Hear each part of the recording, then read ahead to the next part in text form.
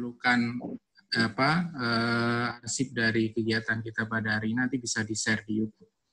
Uh, Bapak Ibu sekalian dan Prof Mitra, jadi banyak pertanyaan teman-teman di grup WA itu terkait dengan kampus Merdeka dan Merdeka Belajar. Jadi teman-teman meminta supaya ada pencerahan karena ini sudah tahun akademik baru sudah akan segera dimulai. Jadi eh, pertanyaan-pertanyaan itu mungkin kalau dijawab satu persatu agak susah. Jadi kita buat forum seperti ini. Mudah-mudahan ini eh, memberikan pencerahan terutama kepada kawan-kawan koordinator program studi yang hadir pada siang hari ini. Untuk itu, eh, mohon dengan sangat nanti Prof. Mitra dan Bapak Ibu yang lain bisa memberikan informasi dan Bapak Ibu yang lain juga nanti bisa bertanya langsung kepada narasumber. Baiklah Bapak Ibu, untuk mengawali acara ini, marilah kita buka dengan bersama melafazkan basmalah. Bismillahirrahmanirrahim. Uh, Waktu selanjutnya kami persilakan untuk Prof. Mitra nanti berturut-turut dilanjutkan dengan Ibu Ida, ada Pak Heru dan Pak Sarwanto yang sudah gabung dengan kita semua. Ada Prof. Mitra, kami persilakan Prof. Ya, terima kasih Ibu Pak. Uh, Assalamualaikum warahmatullahi wabarakatuh. Waalaikumsalam warahmatullahi wabarakatuh. Alhamdulillah pada siang ini kita bisa berkumpul bicarakan topik yang memang sedang hangat-hangatnya sekarang karena mungkin bisa jadi semester depan harus dilaksanakan ini. Saya juga juga masih lihat-lihat kalau lihat dari kementerian memang uh, sangat antusias sekali. Ya, jadi uh, pertama-tama saya mengucapkan terima kasih kepada Bu Ida dan uh, Ibu Bapak semua yang telah mengundang saya untuk berbicara di sini. Uh, sebenarnya saya mewakili juga PSI Physical Society of Indonesia. Sebenarnya kami juga berencana nanti ingin mensosialisasikan uh, kurikulum kampus merdeka ini dari sisi asosiasi. Tapi ini sudah apa uh, didahului juga tidak apa-apa. Mudah-mudahan semakin semakin banyak yang mengetahui, semakin mudah kita mencerna tentang kurikulum kampus merdeka. Uh, saya izin share, Ibu Bapak.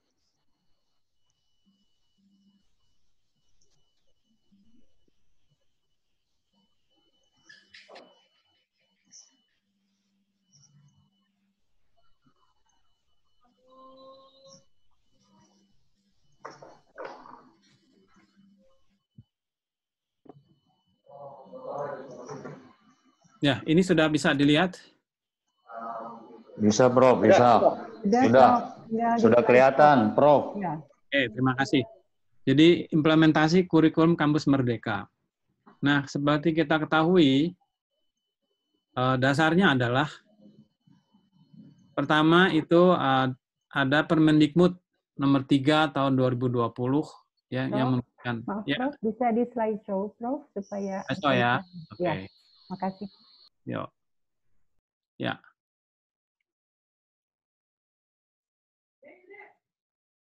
Ya, ya jadi kasih, latar belakang daripada ini adalah pertama adanya Permendikbud nomor 5 tahun 2020 yang menyatakan bahwa memberikan hak kepada mahasiswa untuk tiga semester belajar di luar program studinya dalam rangka menyiapkan mahasiswa menghadapi perubahan sosial, budaya, dunia kerja, dan kemajuan teknologi yang pesat. Ini latar belakangnya. Tujuannya adalah memperkaya dan meningkatkan wawasan dan kompetensi mahasiswa di dunia nyata sesuai dengan passion dan cita-citanya. Yang kedua, mendorong mahasiswa untuk menguasai berbagai keilmuan yang berguna untuk memasuki dunia kerja. Jadi ini kalau kemarin saya pernah lihat dari YouTube-nya Mas Menteri, jadi tujuannya adalah kalau mahasiswa itu lulus, dia ingin kerja, mestinya dia sudah punya punya bekal gitu untuk terjun ke masyarakat. Jadi menurut beliau sampai saat ini perguruan tinggi itu seperti katak dalam tempurung, hanya melihat dunianya saja. Sehingga ketika mahasiswa itu lulus dan dia harus menghadapi dunia kerja, itu belum siap. Nah, ini permasalahannya.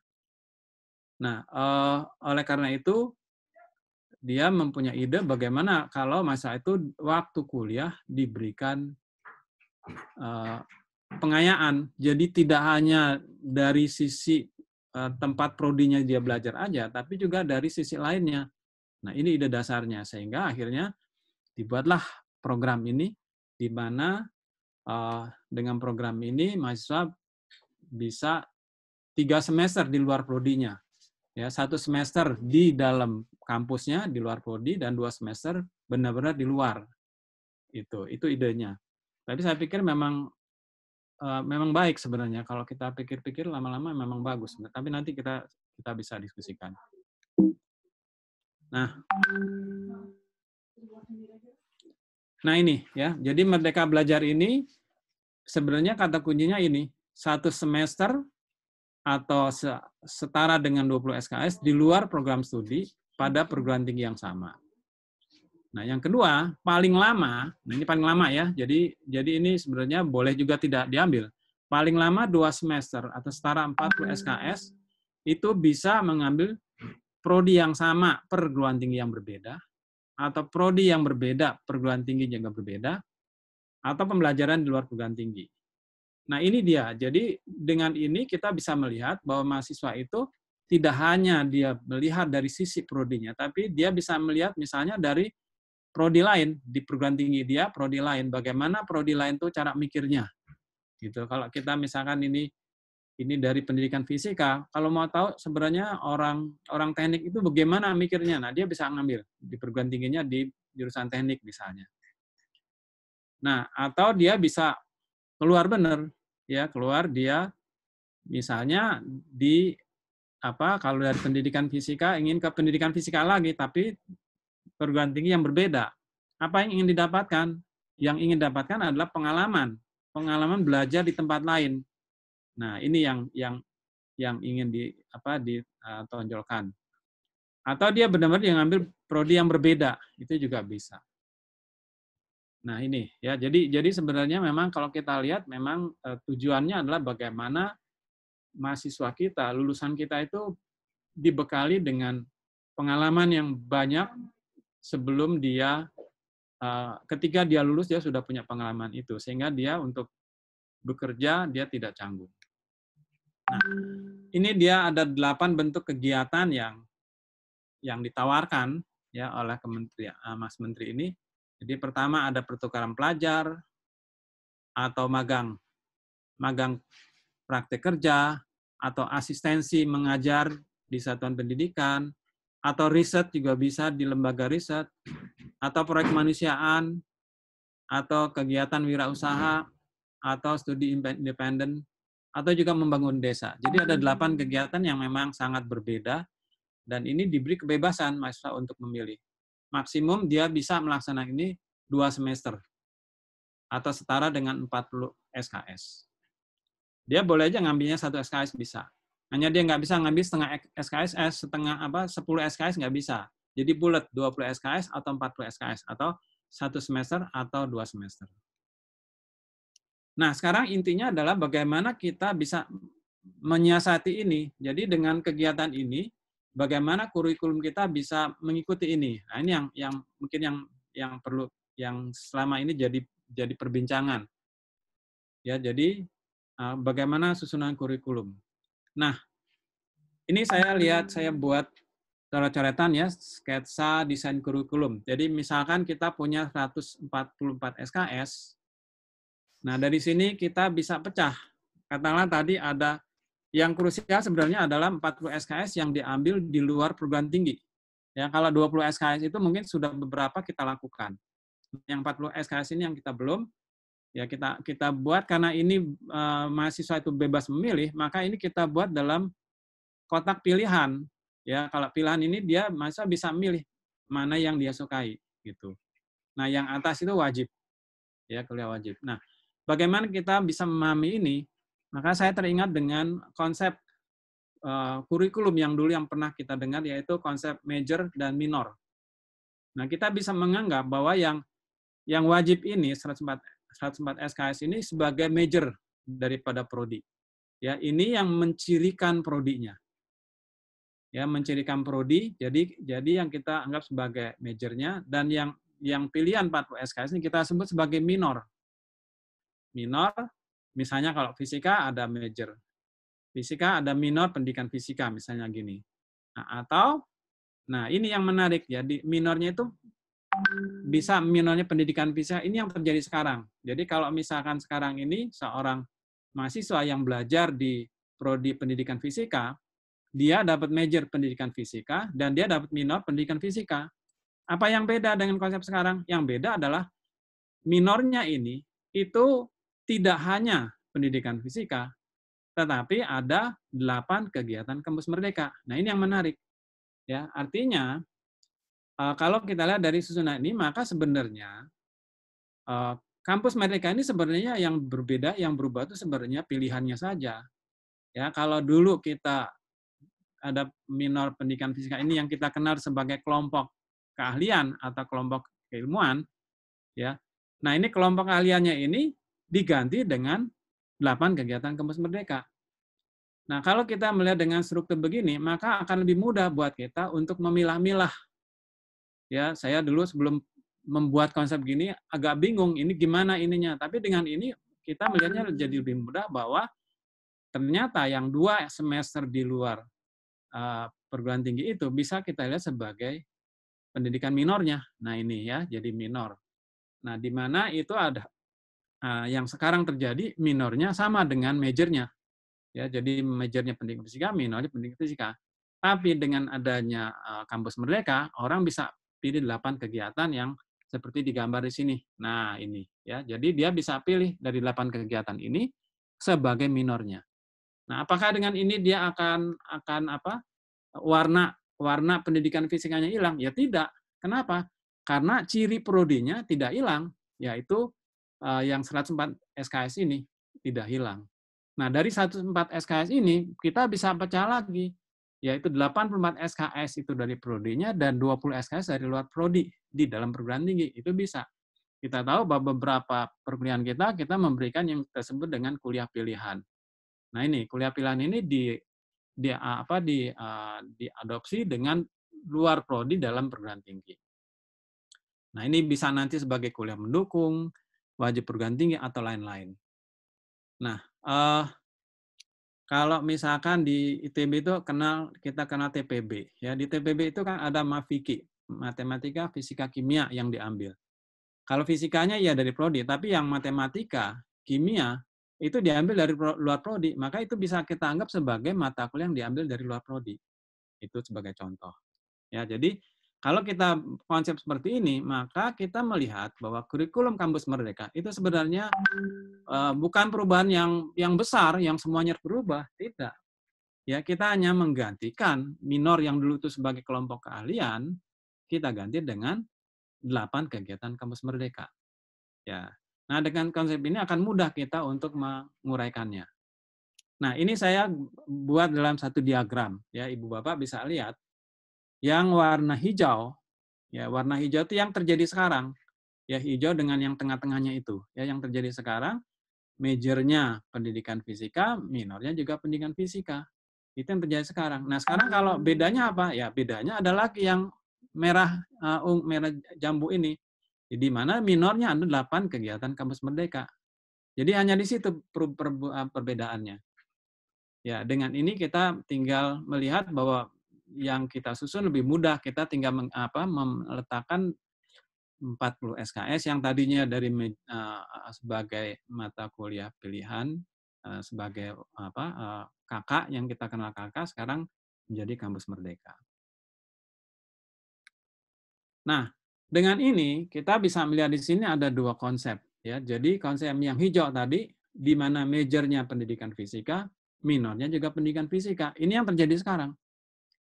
Nah, yang baru yang di bawah ya, majornya pendidikan fisika, minornya adalah 8 kegiatan kampus merdeka. Ya, dengan ini kita bisa misalkan sehingga nanti ibu bapak dalam menyusun kurikulum itu nggak apa tidak pusing ya tinggal melihat mana yang menjadi uh, minornya ya mana yang jadi minornya itu yang kita gantikan dengan kurikulum kampus merdeka di mana SKS-nya kira-kira setara dengan 40 SKS.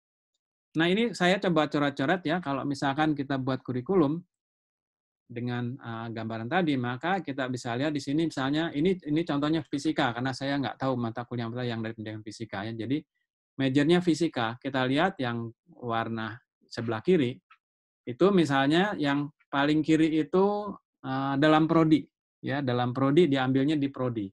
Ada fisika dasar, ada fisika matematika, mekanika, dan seterusnya. Nah, di tengah-tengah itu diambil dari luar prodi, tapi di dalam perguruan tinggi. Nah, ini bisa bahasa Inggris, ya pengantar komputer, software, KKN, agama, etika, statistika dasar, dan selanjutnya. Ya, jadi ini tinggal dicocokkan aja oleh ibu bapak sesuai dengan kurikulum yang berjalan sekarang. Nah, apa yang berbeda yang sebelah kanan? Ini saya berikan warna yang agak berbeda. Jadi misalnya kalau minornya itu sama dengan major, itu yang terjadi sekarang. Ya, kalau di fisika ada fisika teori, fisika instrumentasi, eh, fisika material, fisika bumi dan lain-lain. Ya, jadi jadi nanti ibu bapak yang sekarang sudah punya apa kakak, nah itu kakak yang ini. Tapi warna biru ini bisa diganti dengan warna hijau. Ya, warna hijau itu yaitu minor kampus merdeka. Ada pertukaran pelajar, magang praktek, eh, asistensi mengajar di pendidikan, penelitian atau riset, proyek kemanusiaan, kegiatan wirausaha, studi proyek independen, atau membangun desa. Yang sebenarnya kegiatan di kampus Merdeka itu belum tentu benar-benar berbeda dengan minor yang harusnya diambil, belum tentu. Bisa jadi sama. Ya, bisa jadi hanya sebagian sama, bisa. Dan ini sangat sangat apa? sangat uh, sangat uh, sangat bebas gitu. Ya. Nah, Nah, apa yang yang kita lihat di sini memang uh, kurikulum kampus merdeka memberikan fleksibilitas yang cukup tinggi. Jadi nanti misalkan ya mahasiswa dia ngambil minor kampus merdeka, misalnya pertukaran pelajar misalnya. Nah, ini sebenarnya kalau pertukaran pelajar ini bisa jadi yang diambil sesuai dengan yang di minornya. Bisa. Nah, kalau gitu nanti mata kuliah mata kuliahnya bisa diaku ya. Jadi ekivalen dengan mata kuliah yang ada di uh, prodinya di kampusnya itu. Nah, ini yang yang mungkin uh, dari awal mahasiswa itu sudah harus bisa menentukan. Kenapa? Karena nanti kalau enggak, nanti bisa jadi. Nah, ini kan um, minor kampus merdeka ini uh, diletakkan di mana? Ya, sebaiknya diletakkan di semester yang atas, yaitu semester uh, 6 dan 7. ya Karena semester 8 itu sudah tugas akhir, jadi 6 dan 7. Nah, jadi jangan sampai Eh, mata kuliah yang sudah diambil di di apa semester 3 4 ya 1 2 3 4 itu nanti diulang lagi di kampus Merdeka. Nah, ini yang yang saya melihat uh, dari awal mahasiswa itu sudah harus menentukan dia mau mau bagaimana.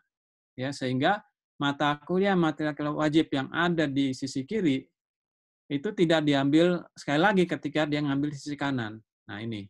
Ya, ini pentingnya nanti apa uh, uh, pembimbing akademik itu dari awal sudah menentukan itu.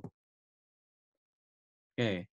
Nah, uh, ini intinya sebenarnya kalau dari kita lihat dari kuliah kampus Merdeka yang intinya ini ya, bagaimana kita menyusun struktur kurikulum ya di mana uh, me mewadahi ya mewadahi kampus Merdeka tetapi kita tidak banyak perubahan yang yang kita lakukan dari kurikulum yang sekarang jadi dengan kita lihat ini kita hanya menggantikan kuliah minor yang dulu kakak itu menjadi kampus merdeka. Ya. Jadi saya kira intinya di sini jadi nanti uh, ibu bapak dari prodi tinggal melihat ya kurikulum sekarangnya bagaimana, nanti tinggal dilihat minor kampus merdeka gimana. Nah ini kalau dari sisi struktur kurikulum. Nah apa yang yang di yang diperlukan ya untuk ini. Jadi kita lihat jadi persyaratan umumnya ini ini yang diberikan oleh uh, apa oleh kementerian ya. Jadi ini dari buku kementerian yang yang terakhir ya buku buku apa tentang kampus merdeka. Jadi mahasiswa harus berasal dari prodi yang terakreditasi.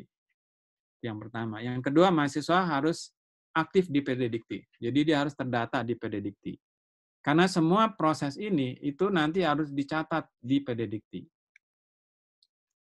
Nah, Kemudian siapa pihak-pihak yang terkait?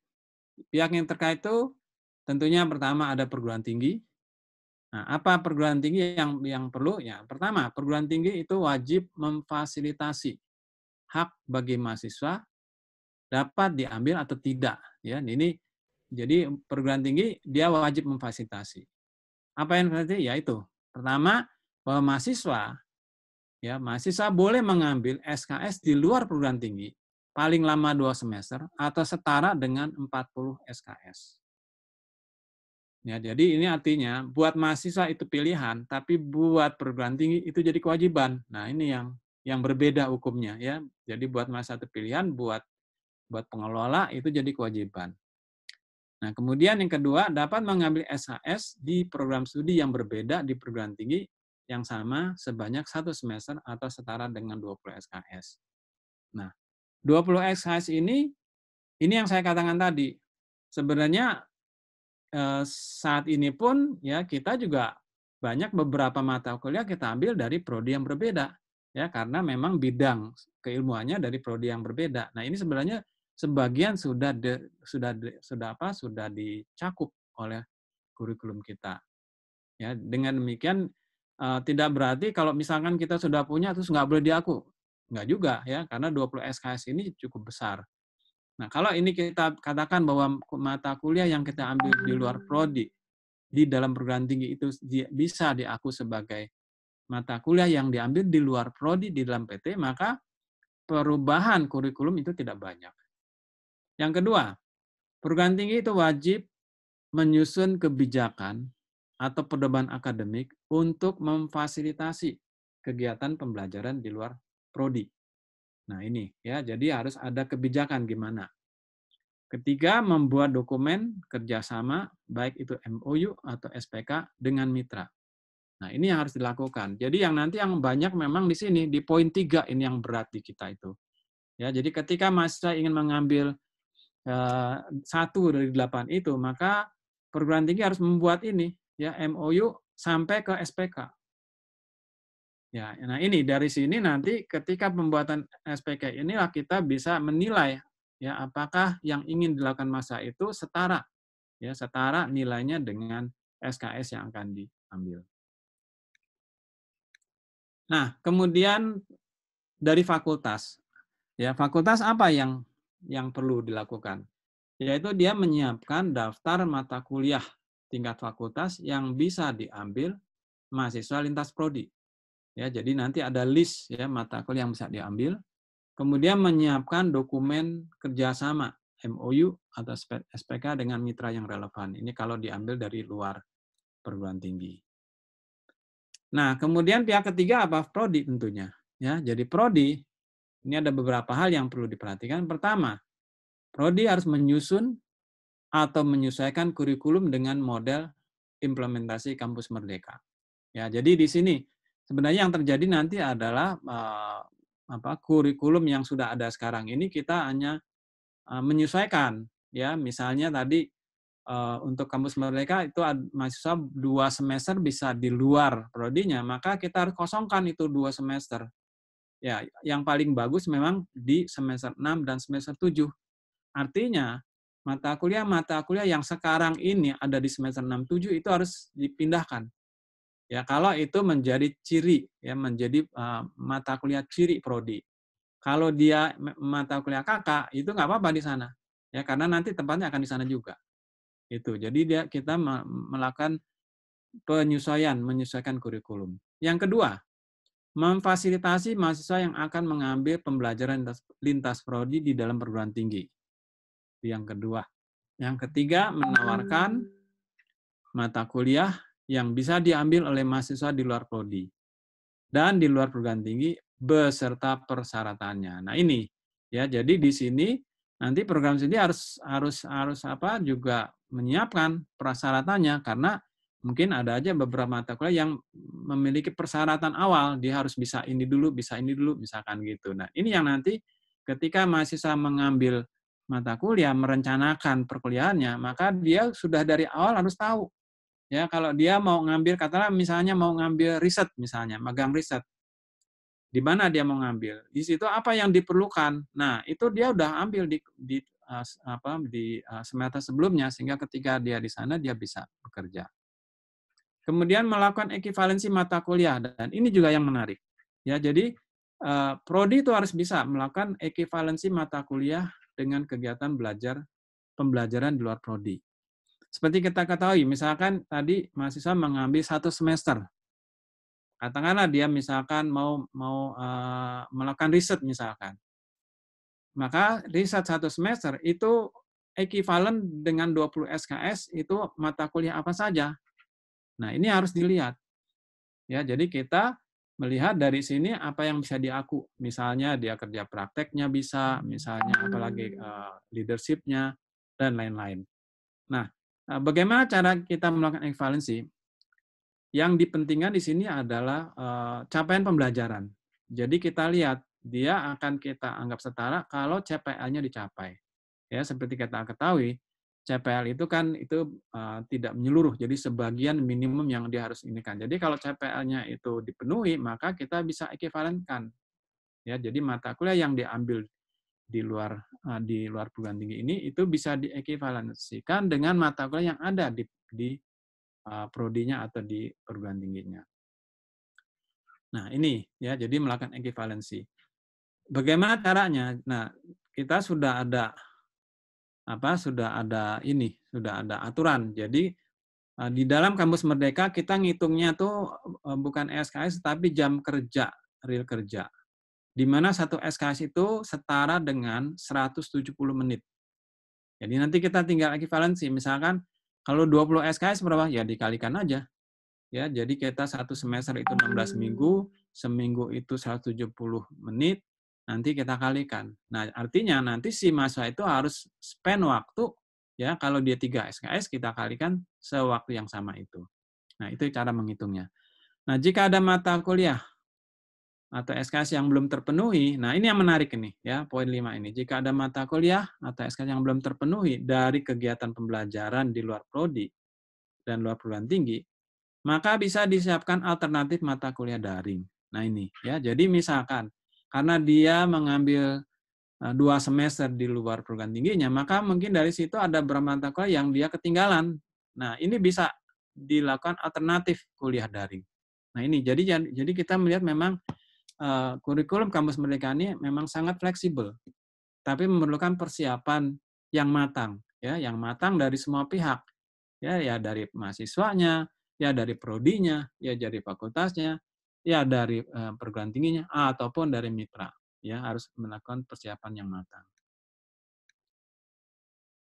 Nah, ini dari mahasiswa. Jadi mahasiswa merencanakan bersama dosen pembimbing akademik mengenai program program mata kuliah atau program yang akan diambil di luar prodi. Nah, ini yang saya lihat. Jadi artinya apa? Dari awal itu mahasiswa sudah harus punya perencanaan yang baik.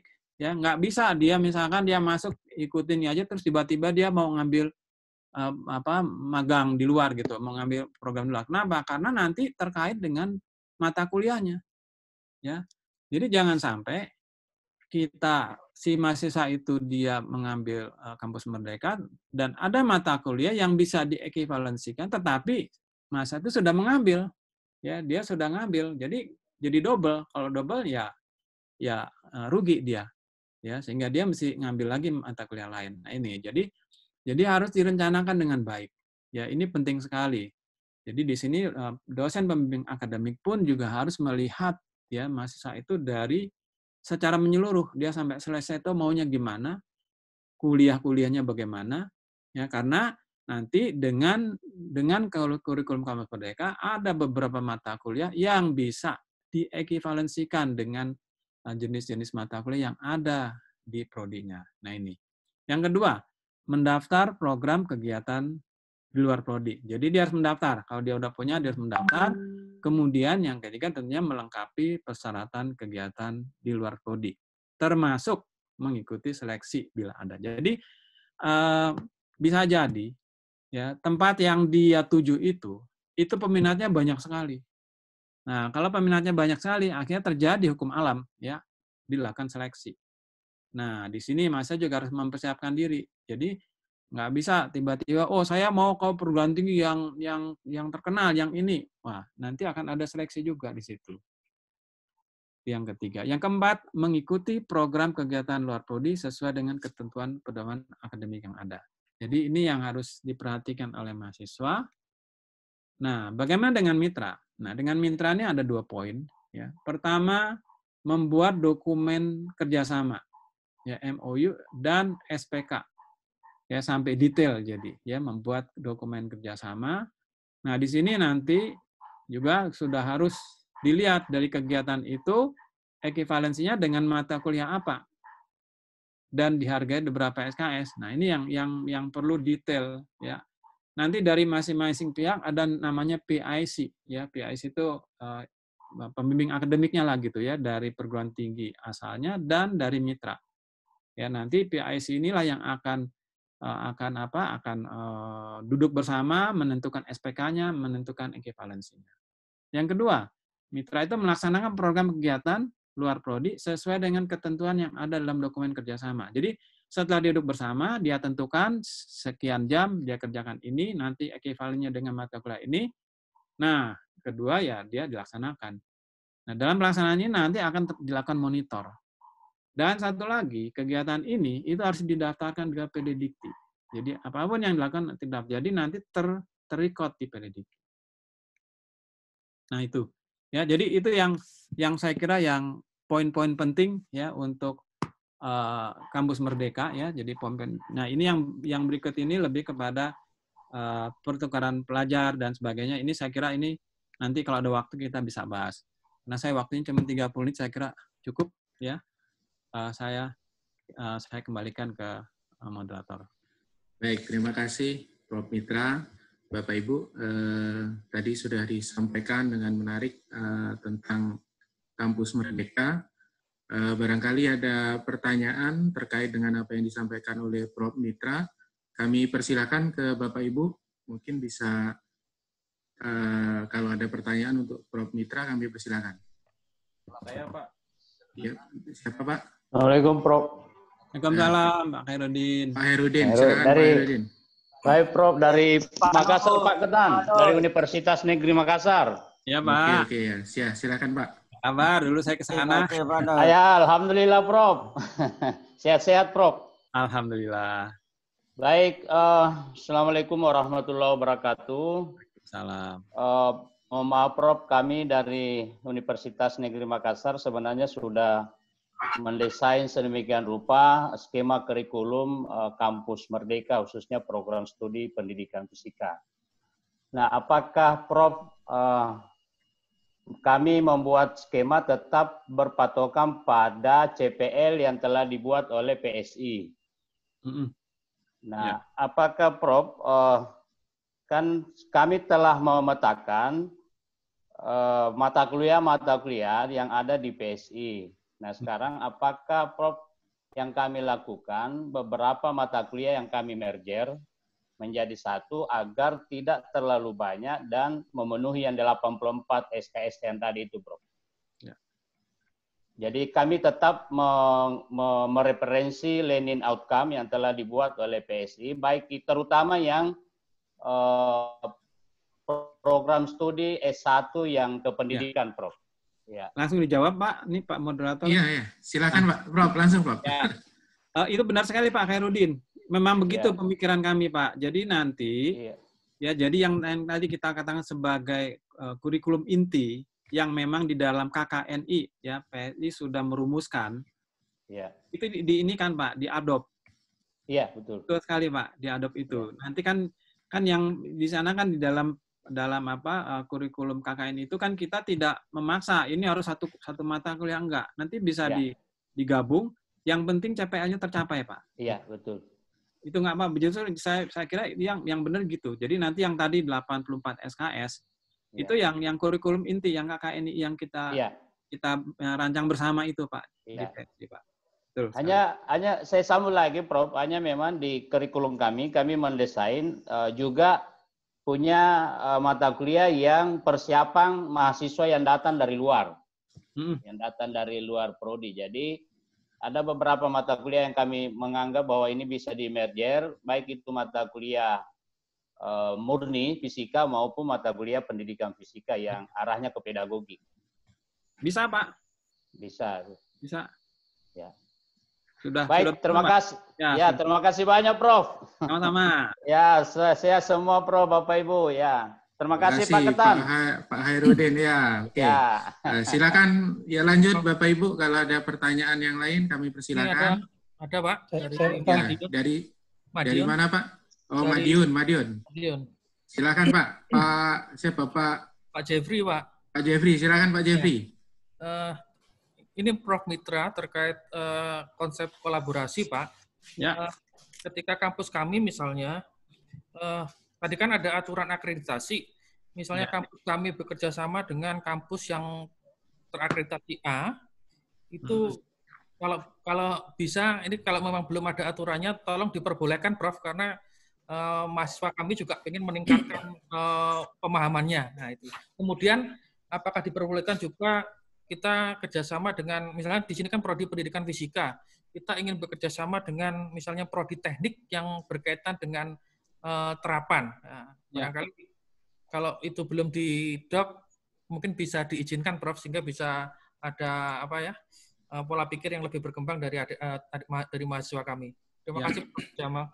Ya, terima kasih Pak. Jadi memang itu sebenarnya tujuan Pak Menteri, Pak, Mas Menteri itu.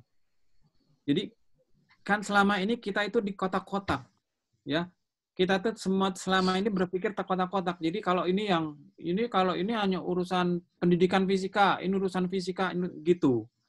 Sehingga akhirnya ketika lulus orang itu nggak bisa kerja tempat lain itu loh. Nah, justru dengan ada kesempatan ini, ya 40 SKS ini, justru itulah dia akan memberikan warna yang berbeda. Jadi misalkan dari pendidikan dia pengen tahu orang engineering itu bagaimana sih misalnya gitu. Nah, itu yang saya katakan tadi minornya dia engineering gitu, Pak.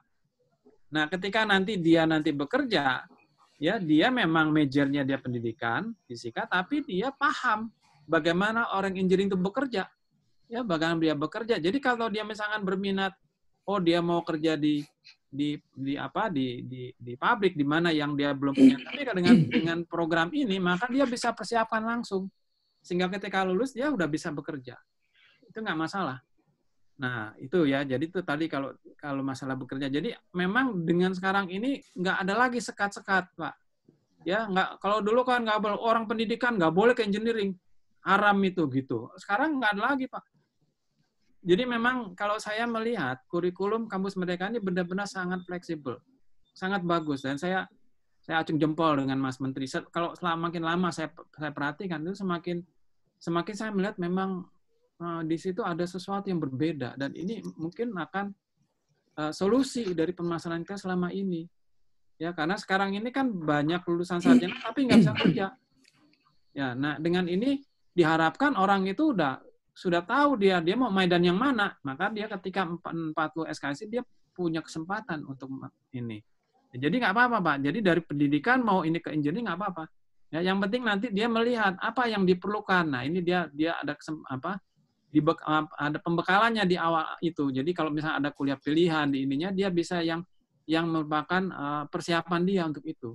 Nggak masalah itu. Nah kemudian masalah akreditasi. Nah masalah akreditasi ini uh, apa itu tadi yang saya tunjukkan itu itu aturan dari kementerian, Pak. Ya, tapi saya nggak tahu bagaimana nanti dalam pelaksanaannya. Uh, apakah nanti yang dari akreditasi yang yang ke atas itu bisa itu tapi saya kalau saya melihatnya yang sebenarnya yang paling menentukan adalah uh, mitranya ya misalkan dari dari tempat bapak mau ke mana misalkan ke UPI misalkan gitu akreditasinya beda tapi kalau UPI-nya mau nerima ya apa salahnya? Gitu loh. Ya, jadi saya kira saya kira akreditasi itu lebih kepada uh, kesepakatan bersama. Mungkin gitu, Pak. Nyata, Pak Ketan. Nyata, Pak Terima kasih, Prof. Mitra. Ini ada dari Tadulaku dulu. Tadulaku sudah angkat tangan dari tadi. Tadulaku. Ya, siapa Tadulaku? Dari Tadulaku? Oh, enggak ada, Pak Ketan. Oh, enggak ada. Silakan. Siapa ini Pak Nyoto mau Nyoto, tanya? Pak Ketan.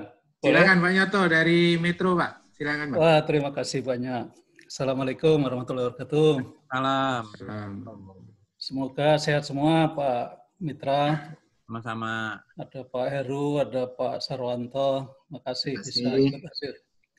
Hmm. Uh, ada pertanyaan saya yang pertama terkait dengan delapan yang kampus Merdeka itu, Prof.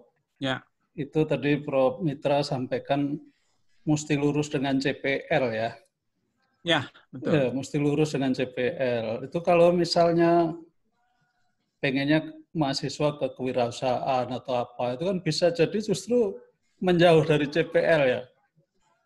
Itu satu. Kemudian hmm. yang kedua, Prof, barangkali PSI perlu menghimpun ya data terkait dengan kompetensi-kompetensi atau keilmuan-keilmuan di berbagai prodi fisika di Indonesia ini. Karena misalnya mahasiswa ini mau atau dari kampus kami mau ngambil tempat lain bidang apa itu kan informasi itu jadi belum terhimpun gitu, Prof.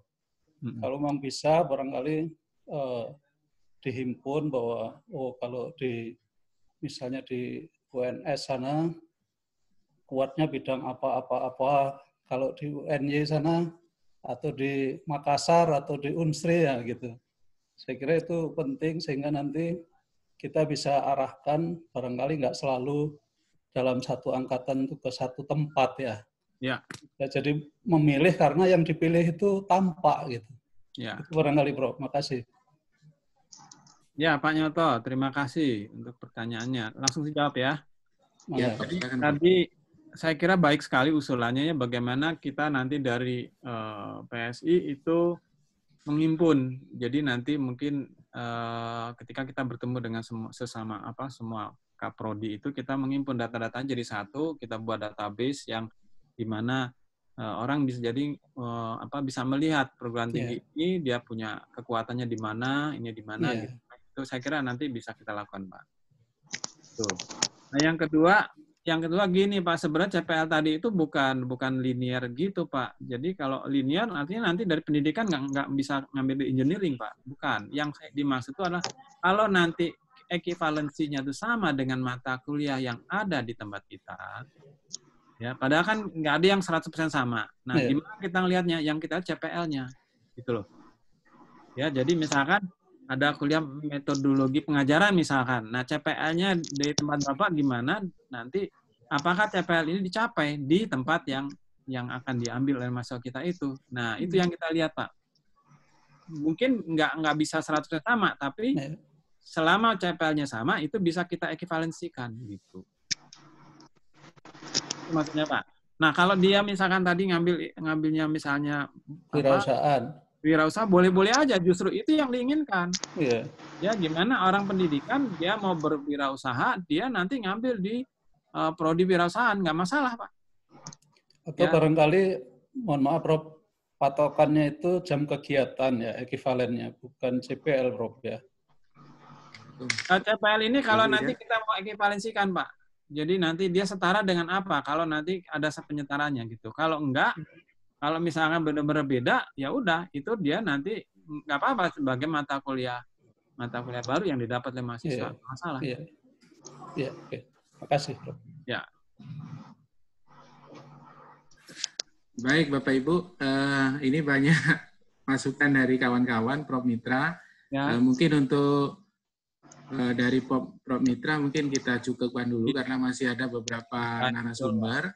Nanti ya. kalau ada hal-hal yang terkait apa uh, asosiasi yang ingin ditanyakan mungkin nanti bisa langsung saja ke Bu Ida ya. Bu Ida kan sebagai apa koordinator uh, pendidikan rasanya gitu Prof Mitra ya. Ya, silakan Pak. Setuju, Pak. Terima kasih banyak Prof Mitra atas sharingnya. Uh, selanjutnya uh, Bapak Ibu uh, kita akan ke Bu Ida dulu mungkin ya Bu Ida. Mana Bu Ida? Ya, boleh ya. Pak. Ya, ya, silakan Bu Ida. Ya, ya. Assalamualaikum warahmatullahi wabarakatuh. Waalaikumsalam warahmatullahi Bapak dan Ibu yang kami hormati, Prof. Mitra, juga Bapak Ibu uh, semua yang hadir di uh, forum ini. Syukur Alhamdulillah saya uh, juga memperoleh kesempatan untuk sharing tentang bagaimana perencanaan, perencanaan dan rencana implementasi Merdeka Belajar di UPI, Bapak Ibu. Sudah terlihat sharingnya Bapak Ibu? Ini uh, belum ada Bu. Share screen-nya sudah? Belum, belum ada. Mungkin yang tadi harus di stop dulu ya. Ada yang Iya, ada yang share. Sebelumnya. Ya, yang share tadi Mas. Ya, Pak Ketang, ya, host, host Pak Ketang. Mohon di stop dulu yang sebelumnya. Iya, ya, host, host. Nih. Ya, ya, Pak. Maaf. Sekarang sudah terlihat Bapak Ibu? Belum, belum Bu. Oh, masih belum? belum. Keluar, Bu. Tadi belum keluar kayaknya. Mitra mungkin. Saya udah keluar dari tadi saya. Iya, yang sebelumnya tadi ada yang... Nah, saya tadi ada yang masuk, saya nggak tahu siapa itu. Yang Asus ini, Asus Screen siapa ini yang mungkin di stop dulu dari yang Asus ya? Oh, ada Asus ya? J, J. Bapak Ibu.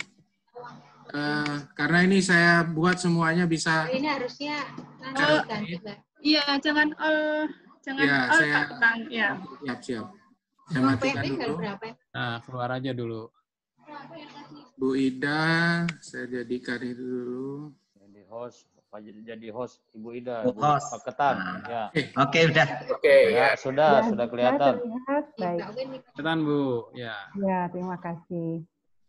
Baik Bapak Ibu, uh, demikian juga di UPI Bapak Ibu, ini uh, kita cukup ngebut begitu harus menyiapkan uh, device atau penyesuaian kurikulum dengan uh, terkait dengan konsep kampus merdeka merdeka belajar.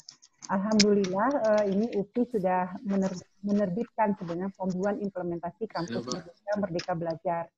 Jadi tim uh, TPK UPI sudah men-sharekan ke semua prodi. Di sini alhamdulillah Pak Samsudin, Ahmad Samsudin juga hadir di sini. Barangkali nanti juga bisa diperkuat bagaimana uh, progres implementasi di UPI.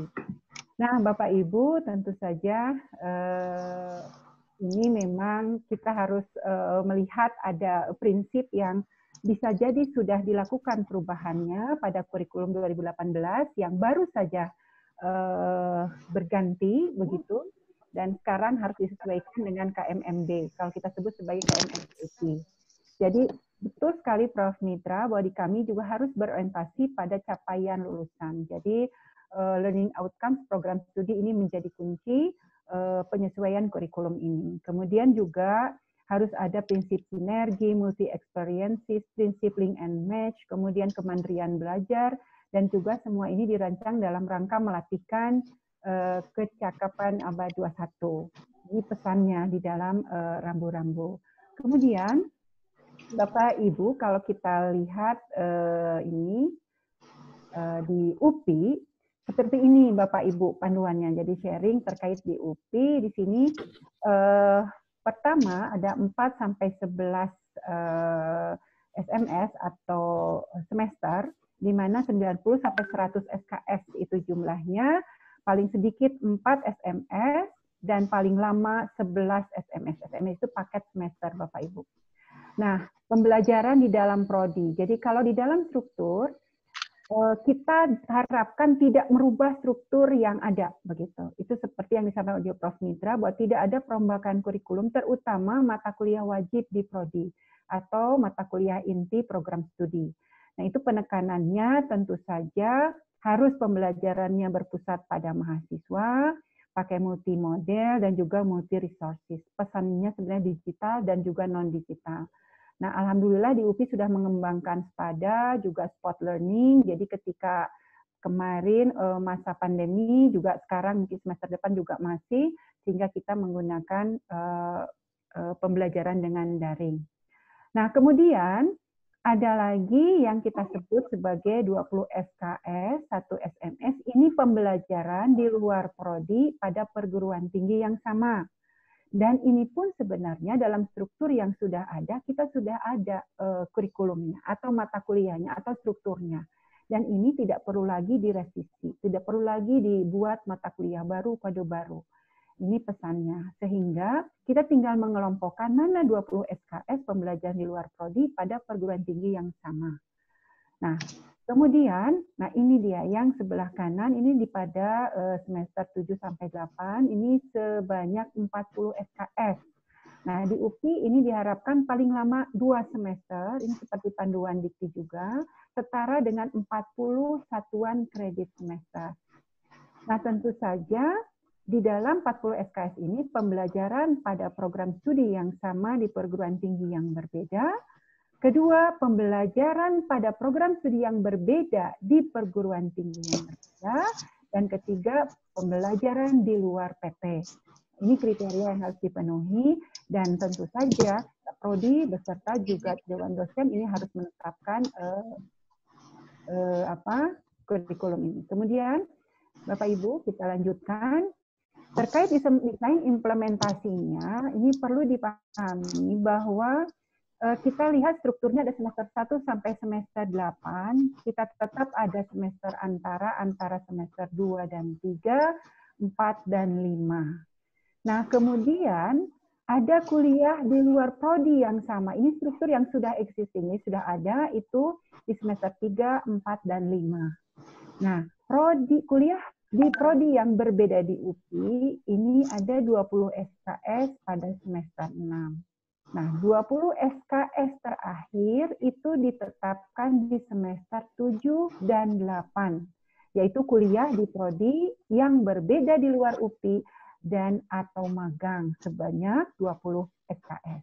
Nah, ini juga yang disampaikan oleh Prof. Mitra bahwa ada 8 kegiatan kampus uh, Merdeka ini juga sedang dirancang dan luar biasa Prodi harus mengidentifikasi uh, apa saja aktiviti yang akan dilaksanakan. Tidak mesti ke delapan-delapannya karena kesiapan Prodi juga MOU institusi yang akan menjadi tempat uh, kampus merdeka itu. Jadi ini masih perlu prepare, tapi sebenarnya pada semester 1 dan 2 sekarang untuk mahasiswa baru existing kurikulum yang kita gunakan tetapi kita harus persiapkan ketika semester 7-8 kurikulum berlaku, semua perangkat harus sudah siap. Jadi bagaimana mekanisme uh, tornya terkait dengan kalau mahasiswa itu memilih membangun desa atau KKN tematik, jika mahasiswa memilih studi atau proyek independen, kemudian juga kegiatan wirausaha, wirausaha apa yang relevan dengan pendidikan fisika, ini juga pasti tidak sembarang wirausaha. Jadi disusun atau ditetapkan juga tornya. Dalam proyek kemanusiaan, penelitian dan riset, asistensi uh, mengajari satuan uh, pendidikan, magang serta pertukaran pelajar. Nah, Bapak Ibu, selanjutnya inilah mekanisme yang uh, dilakukan di UPI Bapak Ibu dan bisa ini juga sharing untuk perguruan tinggi lain. Jadi ada persyaratan jika kuliah di luar uh, prodi di kampus UPI, ada persyaratan yang harus dipenuhi. Jadi pertama terdaftar pada prodi tertentu di prodi dan masih aktif. Jadi tidak sedang mengambil cuti. Yang kedua telah lulus mata kuliah MKK IPS. Ini adalah mata kuliah kelompok keahlian uh, inti program studi. Kita tuh sebutkan namanya MKK IPS, MKK IPS. Ini sebanyak 80% atau setara 65 SKS. Jadi tidak boleh juga sembarang kuliah keluar eh, kuliah di luar eh, di luar prodi di kampus UPI kalau belum terpenuhi SKS ini. Kemudian yang ketiga memperoleh rekomendasi tertulis dari pembimbing akademik dan kaprodi. Nah, mekanisme berikutnya Bapak Ibu untuk uh, kuliah uh, di prodi yang sama di luar UPI. Jadi kalau di kami di departemen pendidikan itu ada prodi iya, fisika, anu ya, ada prodi pendidikan fisika, atau juga prodi yang di prodi yang sama, ah. maaf, jadi prodi yang sama di luar UPI. Itu repositori sininya ya. Pendidikan fisika. Eh, tapi ini kemudian dia mengarah ke sana. Ini mohon jurnalnya. Oh, mute ya. Bida, ya, ini mute, Sama SKP itu belum dihapus sama. Maaf, Bu Ida. Uh, saya tadi ke klik hostnya pindah ke Bu Ida. Minta tolong dikembalikan ke saya Bu biar saya bisa meng mute penjelasan itu ya. Di mute semua Pak yang nggak berbicara. Ya, tadi hostnya pindah ke Bu Ida tadi hostnya. Oh, nah, Bu Ida. Ya, minta tolong dikembalikan ke saya Bu hostnya biar. Saya ikut dua webinar. Ya, dapat. Empat. Yang kedua yang Oh.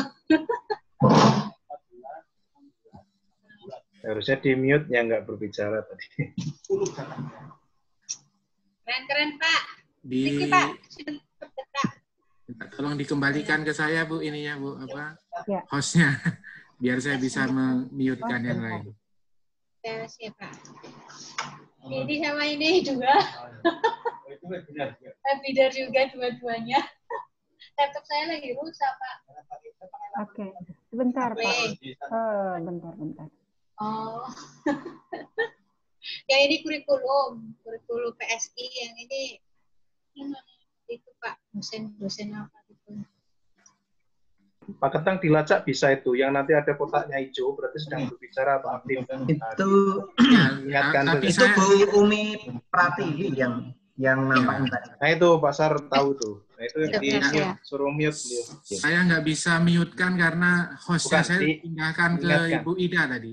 Beliaunya diingatkan suruh Ya. sendiri kan bisa.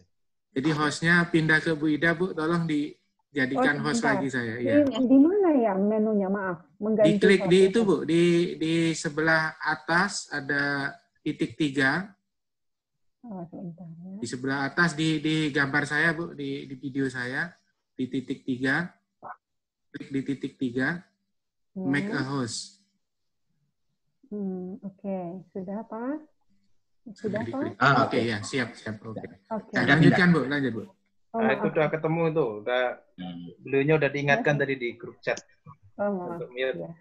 Bisa dilanjutkan ya, Bapak? Ya, silakan, Bu. Baik.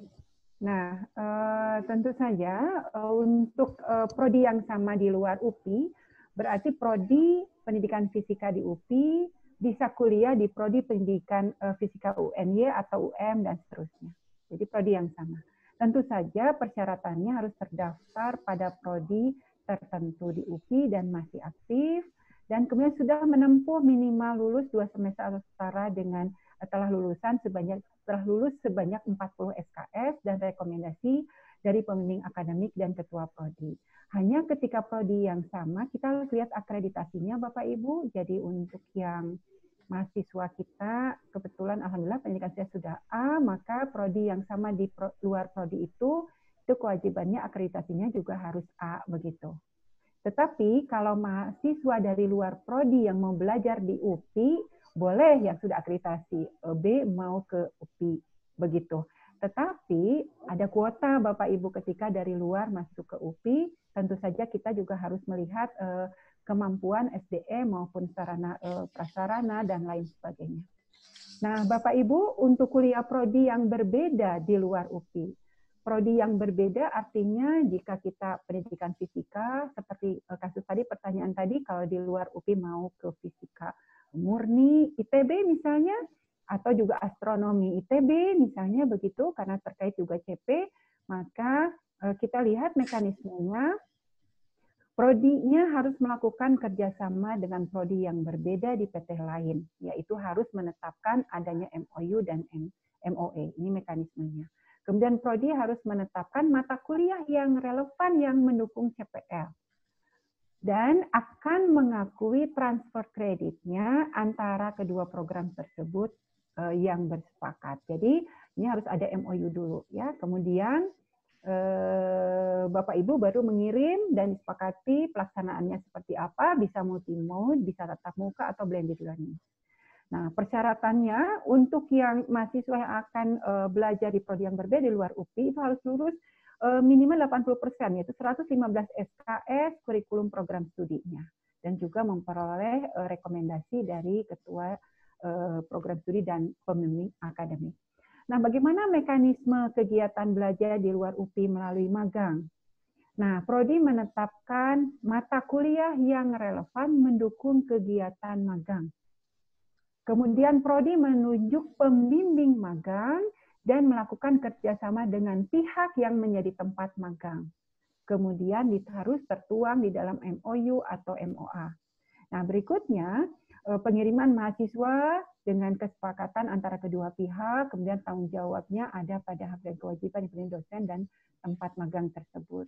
Persyaratannya sama, Bapak Ibu harus sudah lulus 80% atau 115 SKS dan direkomendasikan oleh pembimbing akademik dan uh, ketua program studi. Nah, di sini ada panduan di UPI terkait dan beberapa pertimbangan untuk kegiatan magang. Jadi mahasiswa diberi kebebasan untuk melakukan kegiatan magang. Kalau kita sebut sebagai PPL atau PLSP di mana saja. Tetapi diawali dengan kerjasama agar proses magang memberikan pengalaman yang berarti dan dapat dipertanggungjawabkan secara akademik. Yang kedua, magang dan pengalaman kerja yang dilakukan mahasiswa dapat direkognisi sebagai perolehan SKS dan lulus mata kuliah tersebut. Sehingga harus diselaraskan dengan kurikulum prodinya. Yang ketiga, khusus untuk program studi kependidikan atau calon guru, magang atau pengalaman mengajar dilakukan oleh mahasiswa dapat direkognisi sebagai perolehan SKS setelah mahasiswa memenuhi persyaratan ditetapkan. Jadi, baik berupa portofolio ataupun uji kompetensi tertentu. Nah, di dalam panduan di UPI juga menetap sudah menugaskan kepada program studi Kaprodi itu harus merilis dalam waktu dekat paket mata kuliah di prodi masing-masing sebanyak maksimum 20 SKS untuk ditawarkan pada prodi lain baik di UPI maupun di luar UPI juga mahasiswa dari luar negeri. Yang kedua, melakukan sosialisasi kepada dosen dan mahasiswa terkait KMMD ini dan yang ketiga, mengidentifikasi lembaga-lembaga di luar prodi yang relevan dengan bidang keilmuan prodi ya sebagai tempat mahasiswa melakukan aktivitas perkuliahan tiga semester di luar prodi, baik PT dalam maupun luar negeri, uh, ataupun juga dunia industri. Nah, kalau struktur kurikulum di UPI, ini seperti ini Bapak Ibu. Jadi ada jumlah SKS total 144 sampai 146 SKS, ada wajib 104 sampai 106 SKS, ada pilihan 40 SKS. Nah, 104 sampai 106 SKS struktur kurikulumnya itu ada yang namanya MKKPS, itu adalah mata kuliah eh, eh, mata kuliah inti program studi. Itu 78 sampai 80 SKS ada luar prodi dalam UPI. Ini MKU, ada MKDK, ada MKKF. Kebetulan di UPI ini cukup banyak, yaitu 26 SKS. Nah, baru 40 SKS disampaikan oleh Prof. Mitra bahwa ada kelompok minor pendidikan eh, fisika, itu kelompok keahlian, dan 20 SKS lainnya adalah minor 8 kegiatan kampus merdeka. Nah, oleh karena itu, kami juga dengan arahan Prof. Mintra, terima kasih. Jadi PSI sudah mencoba memetakan ada dua pilihan, begitu. Yang satu hijau dan coklat, ini uh, elipsnya, yaitu majornya itu ini wajib bagi kedua pilihan. Jadi ada yang hijau, ada yang pink. Jadi yang uh, coklat di sini adalah wajib memilih yang kiri atau yang kanan harus mengikuti mata kuliah wajib prodi dan juga mata kuliah prodi, eh, luar prodi di dalam UPI. Baru nanti kalau mahasiswa itu memilih terkait dengan minor yang sudah ditetapkan paket satu, paket dua, yaitu 20 SKS mata kuliah eh, pilihan prodi adalah mata kuliah eh, wajib 40 SKS pilihan prodi atau bisa memilih minor 8 kegiatan kampus merdeka setara dengan 40 SKS. Jadi untuk kurikulum yang kuning, eh, yang maksudnya yang hijau dan coklat ini, ini sudah tersedia dengan kurikulum yang sudah ada. Nah, oleh karena itu, jadi ada dua pilihan, itu ada yang mayor pendidikan fisika plus minornya, atau memilih mayor pendidikan fisika plus minor 8 kegiatan kampus merdeka. Ini dengan format yang hampir mirip di, di ketua eh, oleh Prof. Mitra tadi, jadi kami sudah memetakan mata kuliah jika mahasiswa memilih pilihan pertama. Jadi ini sudah ada 80 SKS, tidak ada perubahan satu mata kuliah pun termasuk SKS dan kode. Jadi kuliah existing sudah ada. Kemudian yang luar dalam prodi kita kelompokkan sebelah eh, tengah ini 26 SKS dan mata kuliah pilihan sebanyak 40 SKS. Ini eh, kolom untuk penciri prodinya, totalnya tapi struktur yang sudah ada. Ini adalah kurikulum baru 2018, Bapak Ibu. Jadi sudah mengalami perubahan eh, yang sudah berjalan satu tahun akademik sekarang. Nah ini yang eh, penciri penciri eh, SKS untuk mayor eh, jika mahasiswa memilih yang pink. Jadi ada eh, penciri prodi yang sama juga dengan yang pilihan pertama, juga bagian tengah ini eh, luar prodi di dalam kampus dan luar kampus merdekanya itu bisa memilih apakah pertukaran pelajar, pengenalan lapangan satuan pendidikan, asisten mengajar, riset, proyek manusiaan, eh, wirausaha, kemudian proyek independen, atau memilih membangun desa atau KKN tematik. Nah, ini jadi total mata kuliah penciri prodi 80 SKS ini sudah ada, juga luar prodi sudah ada. Jadi Bapak Ibu, ini sebagai contoh saja dan ini juga masih dibahas di tingkat prodi ya Pak Samsudin. Jadi kemarin itu kita coba membuat paket untuk prodi yang ditawarkan prodi lain di dalam dan di luar UPI. Jadi ada paket yang orientasinya ke pendidikan fisika, Bapak Ibu. Ini adalah sebenarnya mata kuliah pilihan yang orientasinya memperdalam, memperkuat di bidang pendidikan fisika. Begitu. Ini 20 SKS, di sini ada eh, fisika untuk pendidikan dasar, ada e-learning, ada aplikasi statistik, ada teori respon butir, inovasi bahan ajar, pengelolaan laboratorium, dan lain sebagainya. Ada 20 SKS, dan ini sudah tersedia di dalam kurikulum lama dan tinggal diubah menjadi paket yang bisa dibuka untuk prodi lain, Bapak Ibu. Nah, apabila ada prodi lain di dalam atau di luar UPI yang berminat terkait dengan fisika murninya, kami juga siapkan 20 SKS eh, paket kedua. Ini tentang fisika lingkungan, fisika komputasi, ada eksperimen fisika, ada instrumentasi, ada fisika lanjut. Ini biasanya dipilih untuk mahasiswa yang ingin melanjutkan ke S2 murni, Bapak Ibu. Jadi kalau ingin memperdalam fisikanya, biasanya mahasiswa pendidikan fisika memilih mata kuliah ini. Nah, kemudian karena ada juga uh, Merdeka Belajar, maka kami juga menyiapkan paket yang ditawarkan prodi lain di luar UPI. Ini apabila yang S1 Fisika murni ingin menjadi pendidik fisika. Jadi misalnya dari fisika ITB atau fisika dari uh, universitas lain, uh, UI dan sebagainya, ini boleh kami buka mata kuliah uh, paket uh, yang ketiga. Jadi setidaknya untuk menjadi guru wajib bukan wajib ya kita uh, prioritaskan mata kuliah-mata kuliah 20 SKS ini. Demikian Bapak Ibu berarti sharingnya nanti akan diperdalam apabila ada uh, diskusi atau pertanyaan. Baik, terima kasih, terima kasih. Bu Ida. Iya, sama-sama Pak. Uh, mungkin di kita sepakati dulu Bapak Ibu mau presentasi selanjutnya atau tanya jawab dulu kira-kira gimana Bu Ida? Uh, sebaiknya uh, penyaji yang lain Pak oh, dulu oh, ya, siap, ya siap, kasihan siap. waktunya okay. ya. Oke. Okay. Baik, terima kasih Bu Ida. Uh, selanjutnya mungkin kita ke Pak Heru. Halo Pak ya. Heru. Oke. Okay. Ya. Mungkin uh, mohon kesediaannya Pak Heru, sudah itu nanti uh, Pak Sarwanto mungkin. Silakan Pak Heru. Terima kasih. Assalamualaikum warahmatullahi wabarakatuh. Waalaikumsalam warahmatullahi wabarakatuh. Alhamdulillah kita ketemu lagi dalam uh, tolong itu di share-nya di anu dulu Bu Ida. Kami oh, iya. share. Saya ya. sudah stop. Ya. Oke. Okay. Oke, okay, saya ambil dulu. Terima kasih.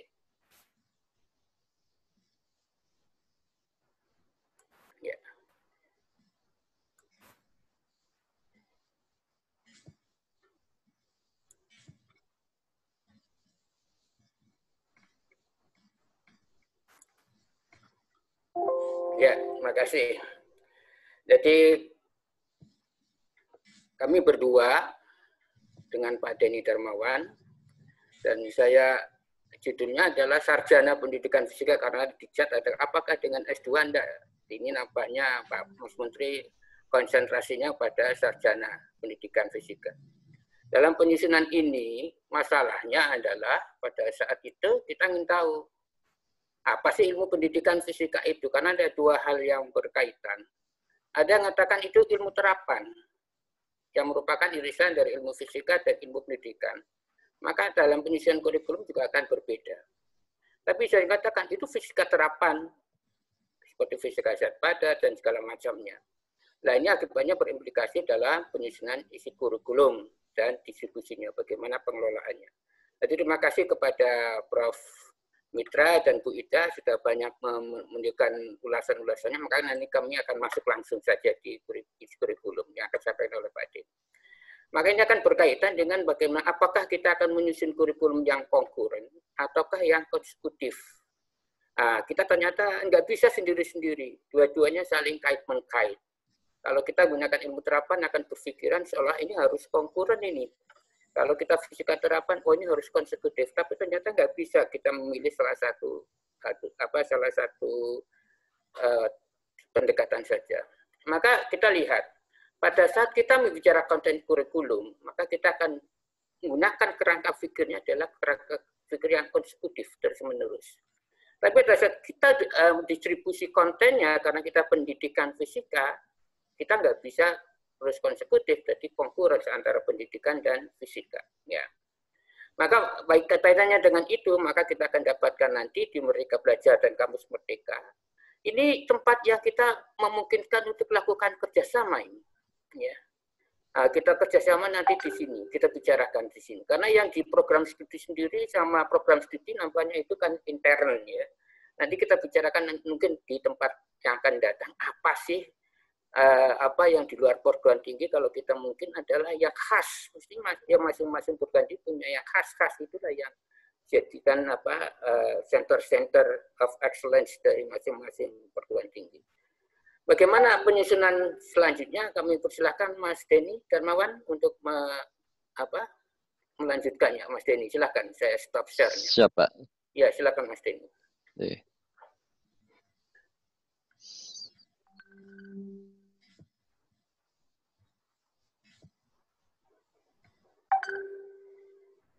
Jadi, sebelumnya Assalamualaikum warahmatullahi wabarakatuh. Waalaikumsalam. Terima kasih atas waktunya. Perkenalkan Bapak Ibu, saya Denny Darmawan dari jurusan Pendidikan Fisika Universitas Negeri Yogyakarta. Eh, kebetulan di Jubdik Fisika UNJ saya diminta eh, menjadi tim kurikulum yang eh, mendapat tugas untuk meninjau kurikulum Merdeka Belajar Kampus Merdeka atau di kami ya disingkat MPKM. Nah, uh, ada beberapa hal yang bisa kami sampaikan, namun sebenarnya uh, di kami sendiri prosesnya ini masih berjalan dan memang di kami uh, diminta kurikulum ini sudah dijalankan untuk mahasiswa semester 1 atau mahasiswa angkatan 2020. Ya, sehingga ini lumayan cukup jarta yang juga untuk penyusunan ini. Jadi uh, memang ini belum selesai, jadi belum bisa selengkap uh, yang disampaikan Prof. Ida tadi. Uh, jadi kami masih fokus di uh, bagian mata kuliah wajib fisika dan pendidikan fisikanya. Nah, sebelumnya mungkin uh, saya mohon izin untuk menyampaikan uh, kurikulum yang sudah berjalan di kami. Jadi di kami ada dua prodi yang diselenggarakan, yaitu pertama adalah prodi S1 pendidikan fisika, yang kedua adalah prodi S1 fisika. Prodi S1 fisika ini memang cukup baru, yaitu mulai tahun 97, namun eh, kehadiran prodi S1 fisika ini akan sangat eh, memengaruhi kurikulum pendidikan fisika juga. Jadi di kami memang eh, dari 97 hingga 2009 ya, ini konsepnya adalah kami memang eh, membuat desain kurikulum itu sinkron antara yang pendidikan juga untuk yang non pendidikan. Jadi kami uh, menggunakan istilah common ground fisika. Jadi uh, bisa dibilang semester pertama atau uh, dua tahun pertama itu baik mahasiswa fisika ataupun mahasiswa pendidikan fisika itu mengambil mata kuliah yang sama dengan bobot yang sama dengan dosen yang sama kedalaman materi yang sama. Baru nanti ketika mulai masuk di semester tinggi semester lima ke atas uh, untuk yang pendidikan fisika ini uh, mulai mendapatkan materi-materi kependidikan fisika. Kemudian untuk yang uh, mahasiswa non-dik itu mulai masuk ke uh, bidang minat. Jadi ya seolah-olah pendidikan fisika ini menjadi bidang minat di fisika. Jadi strukturnya seperti itu. Dan memang ini kurikulum kami yang terakhir itu 2019, jadi masih sangat baru sekali. Kemudian muncul kebijakan MPKM ini yang kemudian kami harus mengevaluasi kembali uh, kurikulum existingnya. Ya. Oke. Nah, uh, roadmap yang kami terapkan sebelumnya adalah seperti ini. Jadi uh, mahasiswa kami ya, selama empat tahun kuliah di UNJ, ya, baik yang pendidikan maupun yang uh, non pendidikan, itu akan melewati empat tahapan. Jadi yang tahap pertama mereka belajar tools atau metodenya, baik itu matfis, komputasi, elektronika, dan ukuran. Kemudian masuk tahun kedua, nanti mulai masuk core fisikanya, mulai dari mekanika, termo, hingga reaktivitas. Kemudian nanti baru di tahun ketiga, atau di uh, semester 5-6 itu, uh, mulai mempelajari terapannya plus mata kuliah pilihan minat, termasuk untuk anak pendidikan fisika itu mulai mengambil materi-materi kependidikan fisika. Baru nanti diakhiri dengan uh, research experience di tahun 4, yang di situ nanti ada praktek kependidikan uh, untuk yang pendidikan, kemudian ada PKL untuk yang murni dan skripsi. Nah, kemudian dengan uh, munculnya uh, konsep MBKM di sini, di mana uh, Pak Menteri mengenalkan ada tiga semester yang uh, diambil, ya, maka kalau dihitung-hitung, maka kita hanya tersisa 84 SKS. Nah, 84 SKS ini harus dicermati betul-betul ya, karena ini artinya terjadi pengurangan SKS bagi kami ya, untuk konten fisika. Nah, karena nanti di kami 84 ini juga termasuk mata kuliah universiter. Jadi eh, yang tersisa untuk eh, prodi pendidikan fisika itu nanti seberapa. Ini yang yang jadi fokus kami. Nah, di UNJ sendiri Pak Rektor sudah mengeluarkan eh, dua peraturan rektor. Yang pertama nomor 5 tahun 2020 tentang kurikulum MPKM. Kemudian yang kedua adalah nomor 7 tahun 2020. Ini tentang panduan uh, penyusunan kurikulumnya. Yang secara rinci menyebutkan uh, berapa SKS-nya hingga ke distribusi uh, semesternya. Ya. Nah, secara umum seperti ini. Jadi ini sedikit menunjukkan perubahan kurikulum yang harus kami lakukan dari yang sebelumnya existingnya itu terakhir kami punya kurikulum 2019 ini harus uh, ya dievaluasi gimana agar bisa mengadopsi kurikulum MPKM. Nah, memang yang berbeda sekali adalah di kami eh, itu setiap prodi itu diwajibkan untuk menawarkan lima pola belajar ke mahasiswa. Jadi eh, di kami disebut sebagai pola 512, artinya lima semester di dalam prodi, satu semester di luar prodi dan satu, dua semester di luar kampus atau uh, pola 611, 6 semester di dalam prodi, satu semester di luar prodi, ya, kemudian satu semester di luar kampus, dan yang ketiga, ini uh, pola 602, mohon maaf ini uh, salah ketik. Jadi 6 uh, eh, semester dalam prodi, kemudian langsung dua semester di luar kampus. Nah ini uh, disebutkan di dalam peraturan rektor ya, bahwa kami setiap program studi itu harus menyediakan ini. Nah, dalam prodi sendiri ini artinya nanti uh, mata kuliahnya diselenggarakan di dalam prodi pendidikan fisika UNY. Nah, uh, yang masuk dalam kategori dalam prodi ini nanti juga eh, termasuk yang mata kuliah universiternya. Ya. Sementara untuk yang di luar prodi ini masih di dalam UNJ, kemudian nanti yang di luar kampus ini baru yang di luar kampus UNJ.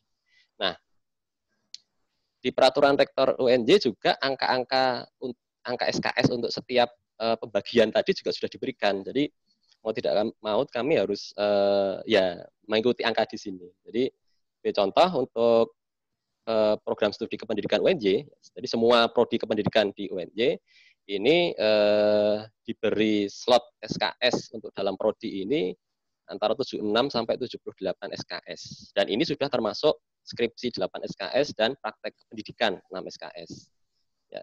Dan nanti sisanya ditutup dari eh, SKS luar prodi dan luar kampus. Sehingga eh, apa pun pola yang dipilih tadi 512, 611 atau 602, semua mahasiswa kependidikan di UNY itu eh, slot SKS-nya hanya 76 sampai 78 untuk mata kuliah dalam prodi. Termasuk eh, tadi ya sudah jadi sebenarnya juga termasuk dengan universitas tadi sekitar 84-an. Nah, sehingga kalau kami kurangi dengan skripsi dan eh, praktek kependidikan, maka kami harus eh, mencari cara bagaimana agar eh, konten fisika itu muat dalam 62 SKS. Ini sudah termasuk dengan materi untuk kependidikannya. Ya, jadi materi kependidikan fisikaan. Jadi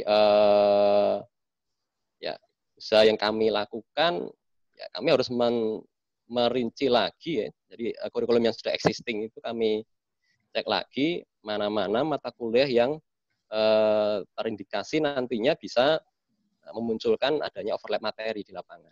Sehingga ada beberapa mata kuliah yang kami merger, ada yang kami reduksi SKS-nya, dan juga beberapa mata kuliah yang uh, terpaksa diubah ke pilihan statusnya setelah melihat tadi dari kompetensi yang sudah dikeluarkan dari HFI. Ya. Oke. Nah, dengan 62 SKS, ya itu artinya kami menyelenggarakan uh, materi fisika itu ya, hanya tiga tahun ya, sehingga kami uh, mencoba meninjau ya uh, beberapa kampus di luar negeri. Karena rata-rata di Eropa itu kuliah fisika hanya tiga tahun. Kami ini cocok sekali untuk kami. Karena memang uh, satu tahun tadi sudah diambil untuk yang uh, luar kampus. Sehingga ada beberapa kampus yang kami tinjau ya baik dari Delft di Belanda ya, kemudian uh, Jerman di Munchen ya, di UK di Australia dan termasuk juga di uh, Fisika UPSI. Kebetulan UPSI Malaysia Universitas Pendidikan uh, Sultan Idris ini uh, punya kerjasama dengan program studi pendidikan fisika di UNJ juga ya, sehingga uh, dari konsep Isiana tadi ya maka ya ketika menyusun uh, kurikulum tadi kami tetap mengacu ke peraturan rektor termasuk konten minimal yang sudah dikeluarkan dari HFI. Nah ini sudah uh, KKNI ya sehingga kami harus bergerak ke situ. Nah, sehingga uh, roadmapnya sedikit kami ubah yang tadinya ada empat tahapan tadi kami uh, jadikan dua saja ya jadi dua tahun pertama itu belajar fisika termasuk pendidikan materi kependidikan di situ sehingga nanti kemudian untuk tahun ketiga dan keempat ini mulai masuk ke pengembangan wawasan sehingga uh, luar prodi dan luar kampus ini kami anggap sebagai uh, pengembangan wawasan. Nah sehingga uh, mata kuliah mata kuliah yang kemarin kami setujui untuk uh, ditawarkan ke mahasiswa tersatu nantinya ya di antaranya adalah ini ya, mulai dari kelompok metode ada sekitar 18 SKS Kemudian untuk uh, kelompok fisika ini 34 SKS, mulai dari mekanika hingga uh, padat, sesuai dengan kompetensi yang dikeluarkan FI. Kemudian untuk kelompok kependidikannya uh, ada 35. Untuk kelompok kependidikan ini nama-nama uh, mata kuliahnya memang sudah ditentukan dari uh, pusat ya dari rektorat sehingga uh, kami tinggal mengikuti saja. Eh, dan ini untuk kelompok universiternya di kami ada 26 di situ termasuk kuliah kerja nyata. Jadi uh, meskipun KKN dan PKL itu uh, kegiatannya ada di luar kampus, namun uh, di peraturan rektor UNJ ini uh, masih dinyatakan sebagai mata kuliah dalam prodi. Sehingga uh, untuk menambah yang luar prodi luar kampusnya tadi, mahasiswa akan mengambil kegiatan di luar itu. Oke, sehingga uh, sebarannya mungkin kalau bisa kami tunjukkan ini untuk yang satunya, sebagai contoh saja ya, yang akan kami coba tawarkan ke mahasiswa kami. Ya, kira-kira itu Bapak Ibu atau nuwun. Terima kasih Pak Denny. Iya. Atau nuwun. Ya, terima kasih Pak Heru dan Pak Denny. Uh, selanjutnya mungkin langsung saja ke Pak Sarwanto. Pak Sarwanto. Mohon Pak Denny di share screen-nya dimatikan. Oke, sampun Pak. Ya, sampun ya. Silakan Pak Sarwanto. Ya. Oke.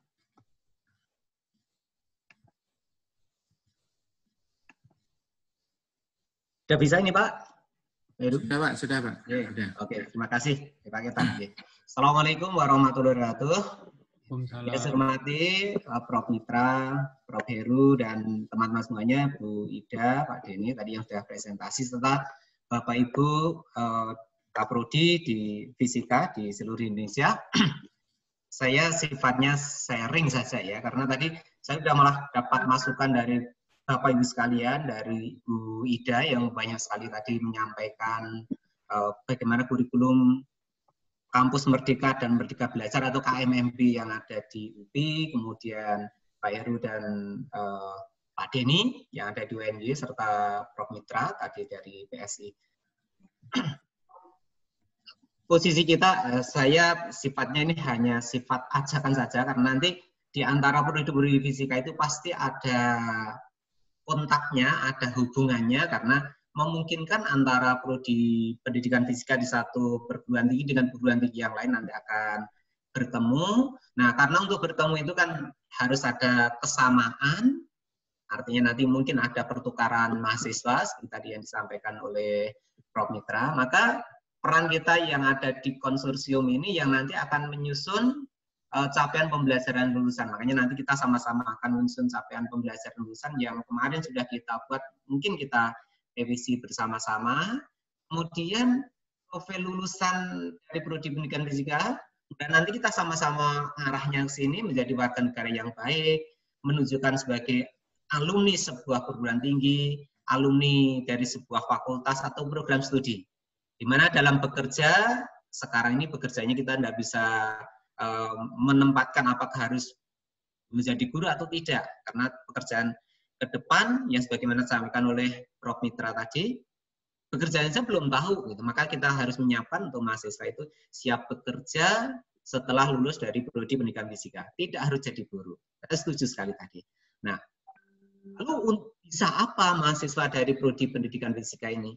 Nah kita sharing saja. Ada beberapa yang uh, mungkin bisa ditunjukkan oleh mahasiswa lulusan pendidikan fisika mampu berkomunikasi baik secara verbal maupun non verbal, kemudian mampu menggunakan TIK sesuai dengan kebutuhan, e, mampu menganalisis data secara kritis, kemudian bekerja sama inter ataupun antar unit, jadi berkolaborasi, inovasi dengan kreativitasnya. Mungkin ini yang kita bisa tunjukkan sebagai seorang mahasiswa lulusan dari prodi pendidikan fisika.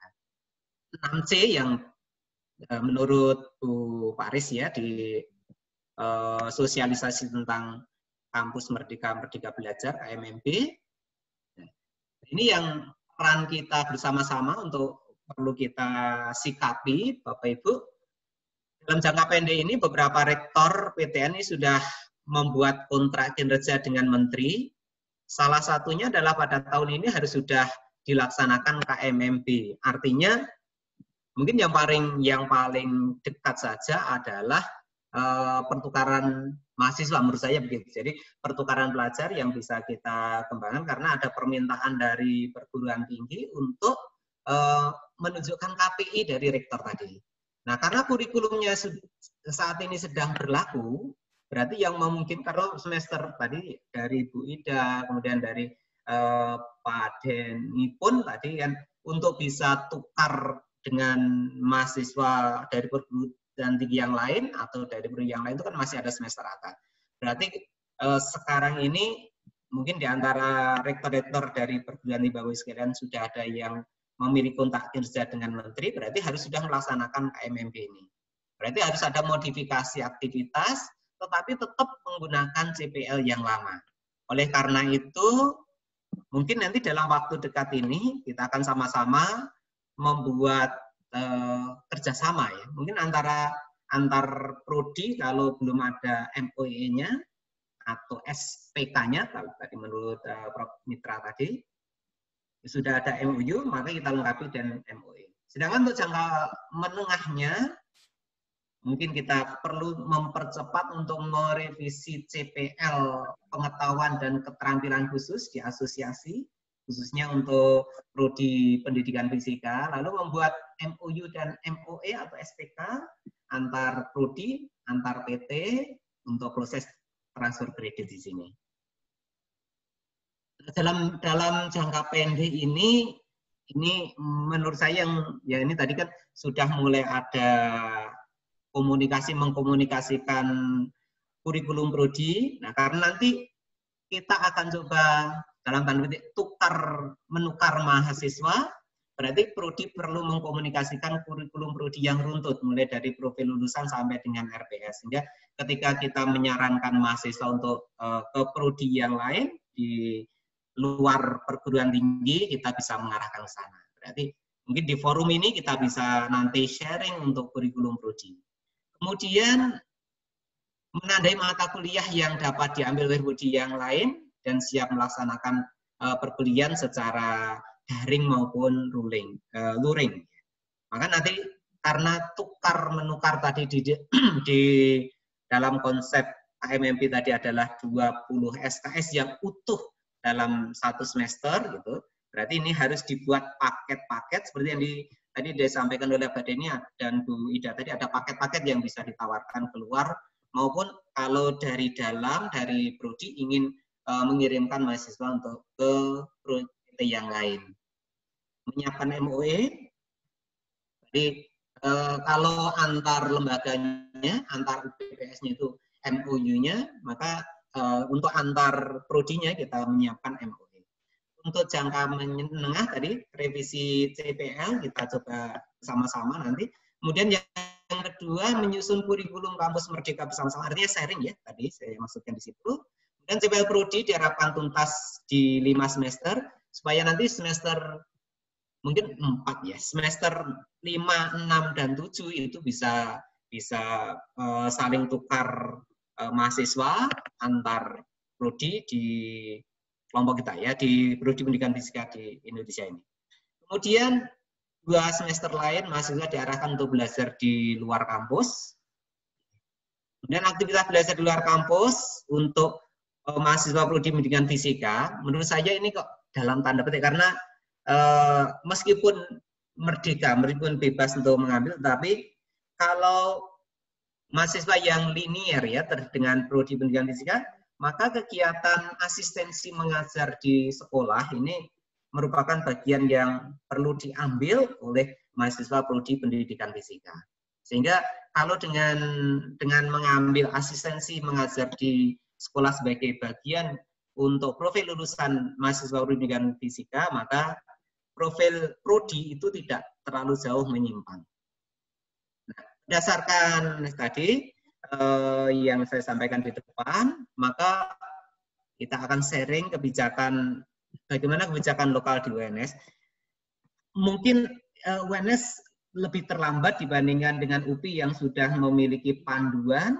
Hari ini di UNS baru dirapatkan di tingkat Senat, Komisi A, Komisi Pendidikan untuk uh, panduan serta peraturan tentang kampus merdeka dan merdeka belajar. Hanya saja yang saya dapatkan informasi awal dari tim penyusun uh, panduan KMMP bahwa tiga semester atau setara 60 SKS ini utuh untuk diambil di luar prodi.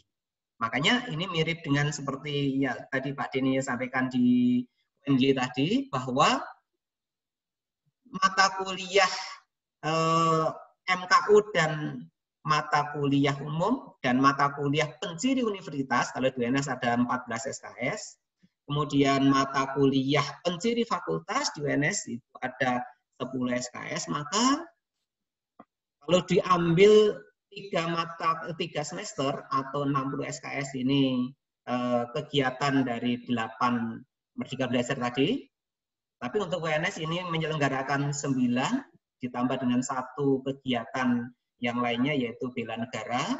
Maka mata kuliah profil prodi di prodi pendidikan fisika WNS itu hanya 60 SKS. Makanya eh, tadi ada usulan dari Prof Mitra tadi bahwa MKPU, jadi mata kuliah penciri universitas dan mata kuliah penciri fakultas itu bisa diambil di eh, kelompok kuliah ya dari tiga semester tadi, kelompok satu semester untuk belajar di luar prodinya dalam satu eh, perguruan tinggi. Kalau itu bisa dilakukan, maka mata kuliah profil prodi pendidikan fisika itu tidak tidak terlalu bermasalah. Artinya tidak terlalu sulit untuk menyusun uh, profil prodi di prodi pendidikan fisika.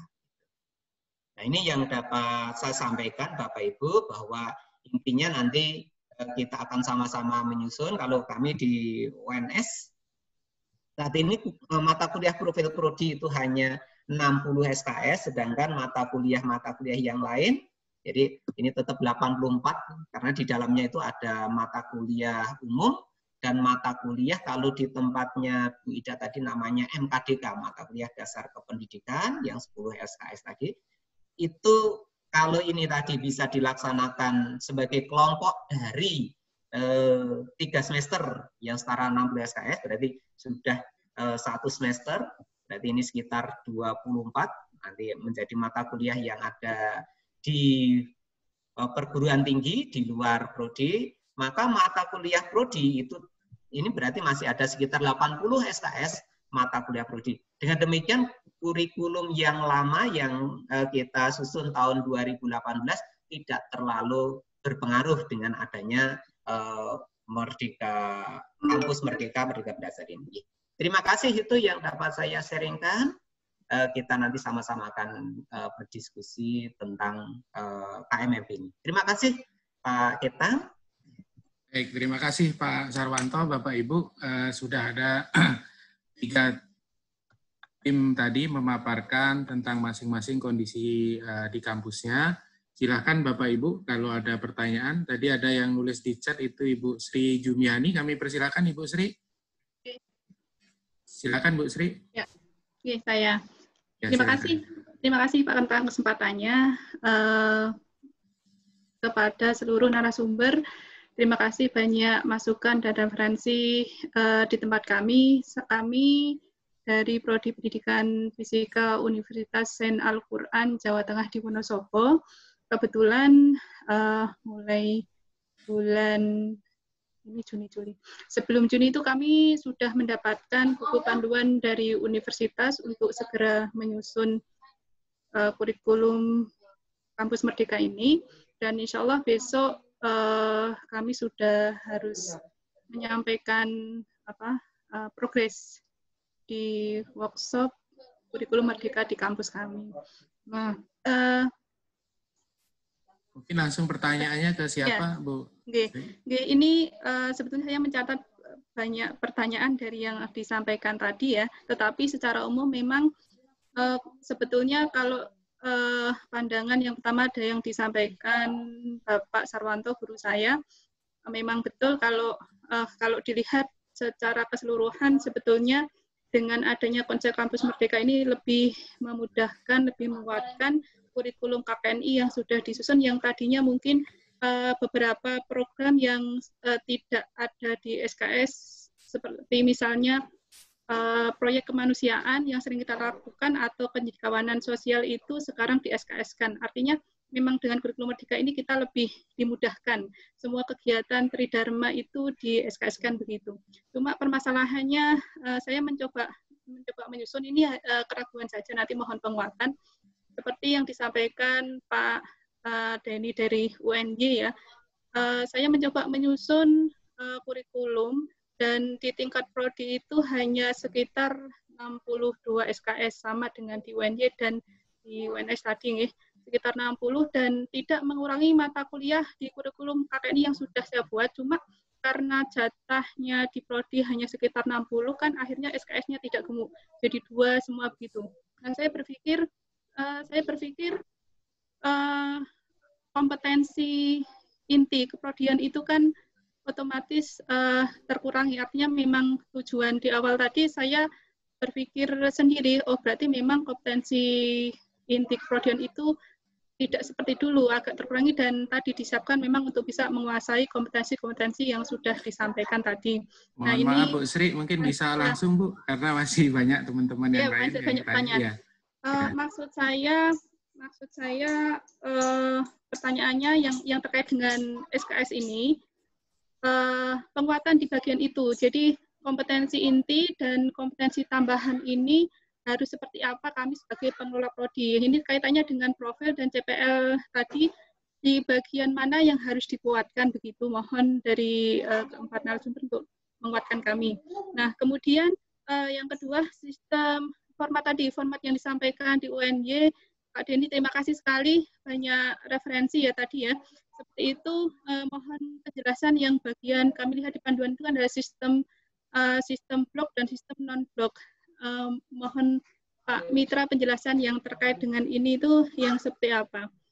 Uh, walaupun di tempat kami untuk format ini sudah sudah ada panduan di Indonesia, kita tinggal mengikuti, cuma mungkin kami butuh referensi yang lebih jelas begitu. Nah, baik, kemudian baik, okay, okay, selanjutnya uh, ada banyak tadi ya.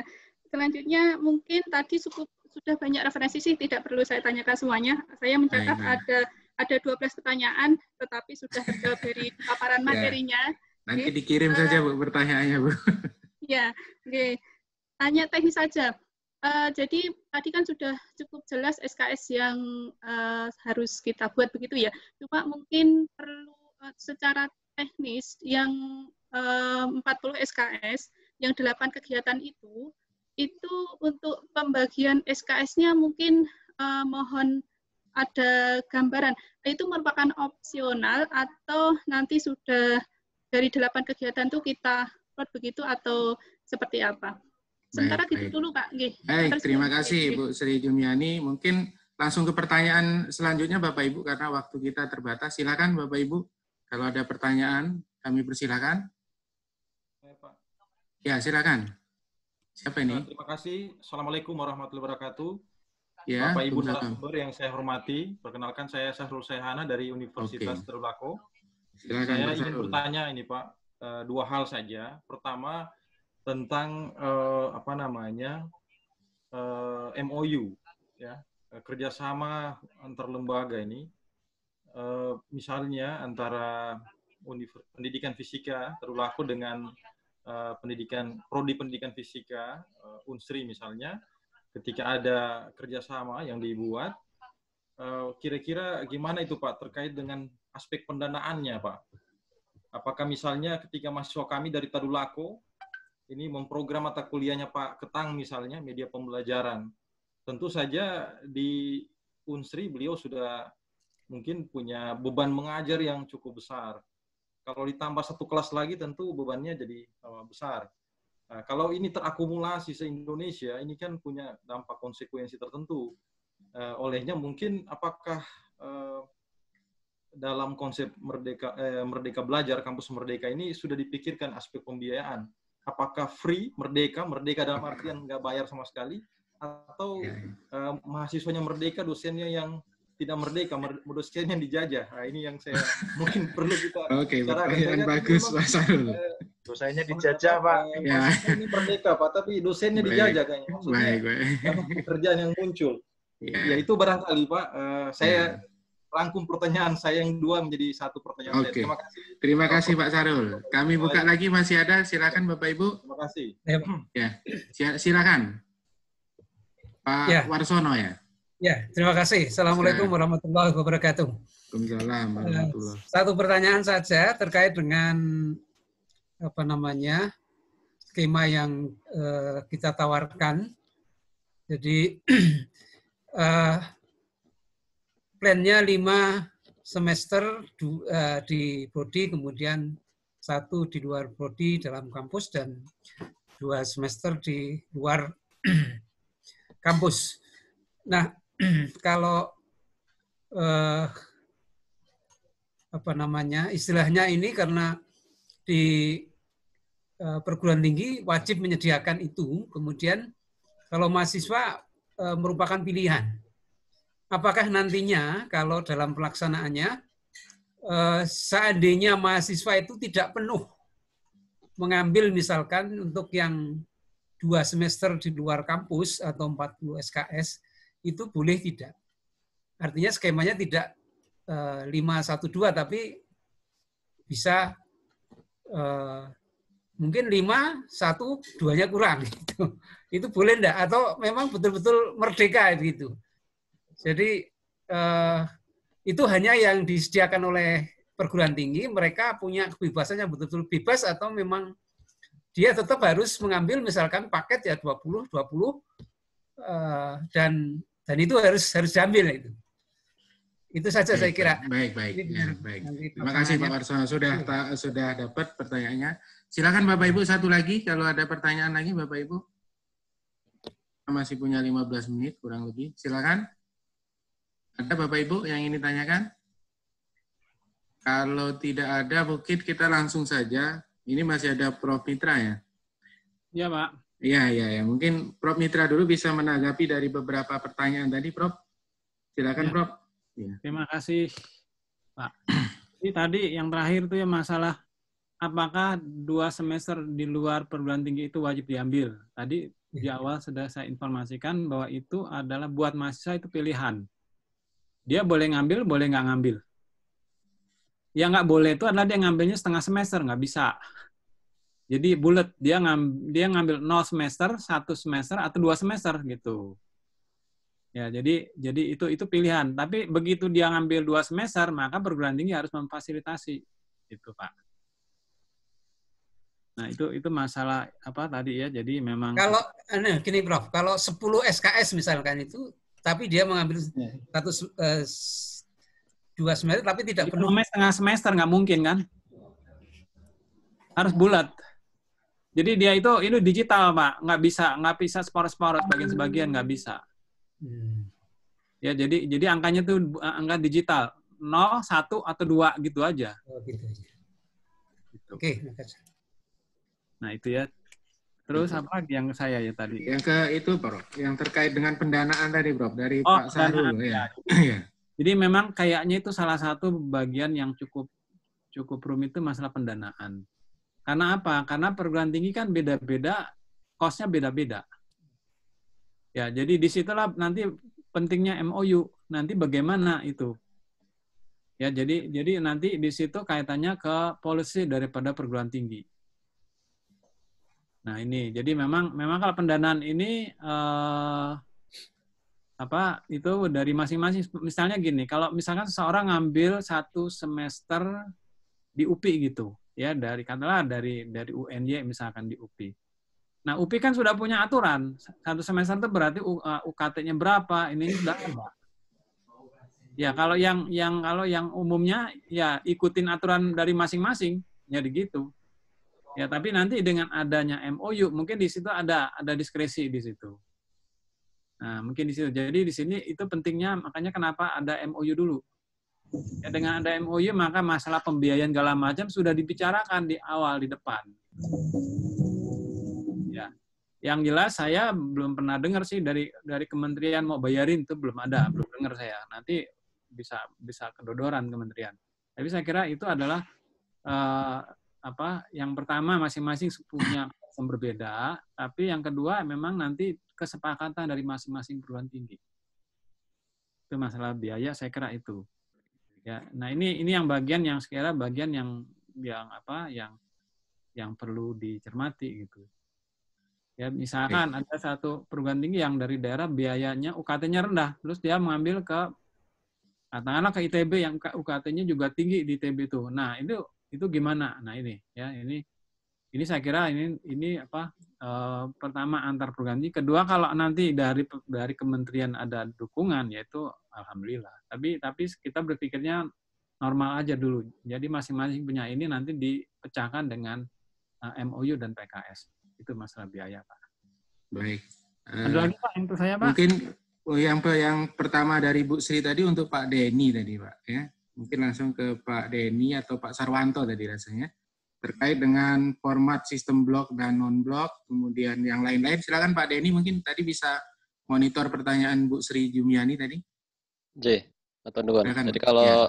uh, yang saya cermati tadi pertanyaan dari Bu Sri, uh, memang tantangan uh, mengisi yang 62 SKS tadi. Jadi memang uh, bagaimana membuat konten fisika dan pendidikan itu muat dalam 62 SKS itu ya tadi uh, di kami memang ya mencoba untuk meminimalisir overlap materi. Sehingga cara yang paling logis ya hanya dengan mengurangi SKS. Artinya memang nanti materi yang disampaikan itu benar-benar yang pokok saja. Sementara materi pengayaannya mungkin nanti e, bisa diambil di mata kuliah tambahan. Ya, jadi kalau di UNJ sendiri ini seperti itu. Oke, mungkin itu Pak. Baik, baik. Ada tambahan Pak Sarwanto tadi? Sepertinya ke Pak Sarwanto juga tadi. Ibu Sri Jumini ya tadi kaitannya dengan 62 SKS mata kuliah prodi. Nah, berarti tadi disampaikan oleh Prof. Mitra tadi bahwa dua SK eh, dua semester ya, dua semester mengambil di luar prodi itu kan adalah hak dari mahasiswa. Hak dari mahasiswa. Artinya, mahasiswa itu kan boleh mengambil haknya untuk kuliah di luar prodinya. Tetapi kita eh, di prodi kita memiliki kewajiban untuk menyediakan mata kuliah yang eh, menyediakan peluang mahasiswa untuk bisa keluar atau menyediakan peluang untuk mahasiswa masuk. Termasuk menyediakan mata kuliah yang untuk mahasiswa kita yang tidak ingin keluar, mestinya begitu. Oleh karena itu, tadi yang saya sampaikan, kita perlu sharing nanti antar prodi pendidikan yang mengisi dua semester tadi yang 40 SKS tadi kita akan bisa sharing Suaranya kecil, Pak. Sarwanto, suaranya Pak Sarwanto. Padahal sudah sudah full maksimum. Agak dekatkan mic-nya, Pak. Oke. Uh, nah, sudah sudah mic-nya sudah full, Pak. Sudah. Ya, ya, silakan Pak. Lanjut, lanjut, lanjut, Pak. Oke, oke, oke. Nah, nah, audio, oke. Sudah full semuanya.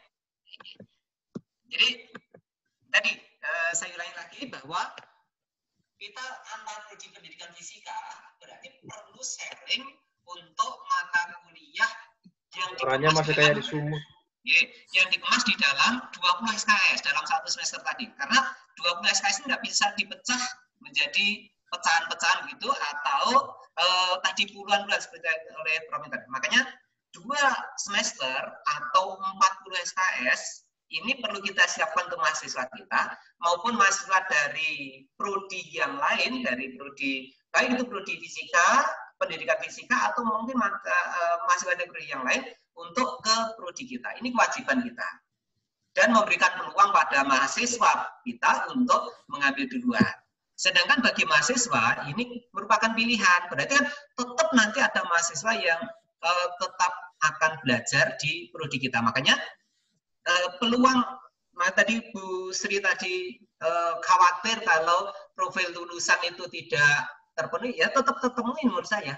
Karena kita menyiapkan, kewajiban kita menyiapkan kurikulum di prodi pendidikan fisika secara utuh. Begitu Bu Sri saya. Ya. Oleh Baik, terima kasih. Pak. Silakan Pak Heru, silakan Pak Heru. Terima kasih. Jadi berkaitan ini mohon maaf Prof. Mitra. Jadi berbeda dalam hal apa yang disebut tadi uh, mengambil di program studi di luar apa di dalam perguruan tinggi.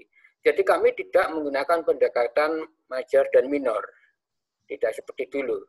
Bukan nggak menggunakan major dan minornya. Jadi yang yang di luar dalam di dalam program studi seperti seperti contoh mohon maaf kami diuntungkan alhamdulillah di jurusan pendidikan fisika itu ada program studi fisika, ada program studi pendidikan fisika.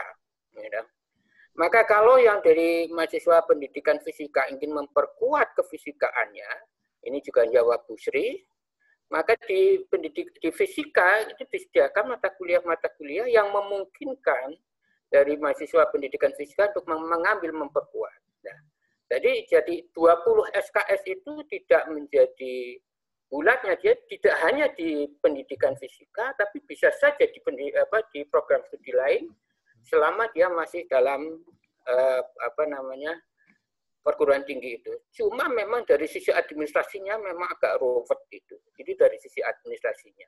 Jadi mohon maaf kami tidak menggunakan pendekatan major dan minor seperti itu. Terima kasih. Ya. Terima kasih uh, Pak Heru. Baik Bapak Ibu, masih ada kesempatan mungkin beberapa penanya kami persilahkan. Silakan. Bapak Ibu yang ingin bertanya, masih ada Saya, satu. Iya, silakan siapa nih Pak Nyoto ya? Iya. Uh, ya. Silakan Pak Nyoto. Turun pendapat saja, saya kira. Saya Nyoto dari Universitas Muhammadiyah Metro ya. Kami ini memang belum mulai ya, tapi ini bayangannya sangat sangat banyak ya. Pertama terkait yang tadi disampaikan Pak Mitra 20 eh, SKS itu digital, digit ya, nggak nggak boleh diambil separuh. Tadi Bu dari UPI juga sudah membuat pilihan 20 SKS itu apa. Saya kira kalau memang seperti itu harusnya 20 SKS itu, misalnya tadi sudah dicontohkan pendidikan ya, itu memang harusnya apa kompetensi yang ditawarkan dari masing-masing kelompok itu sehingga misalnya dari TB ngambil ke UPI itu ya harus lengkap 20 SKS karena dia bidangnya bidang pendidikan untuk menguasai pembelajaran. Mungkin itu ya. Kemudian yang berikutnya yang barangkali perlu dikomunikasikan itu memang tadi benar ya biaya ini akan ruwet ini urusannya. Uh, kalau yang dari delapan itu barangkali yang pertukaran pelajar ya perlu dirumuskan eh, dan dikomunikasikan. Kalau yang lain-lain seperti uh, apa kewirausahaan dan sebagainya barangkali itu nanti bisa di masing-masing prodi bangunnya seperti apa. Itu mungkin yang uh, saya sampaikan. Terima kasih baik terima kasih Pak Nyoto mungkin sifatnya boleh menyampaikan ini. Pak Ketang? Iya silakan. Siapa nih Pak Sam Pak Sam Upi. oh Pak Sam. Silakan Pak Sam.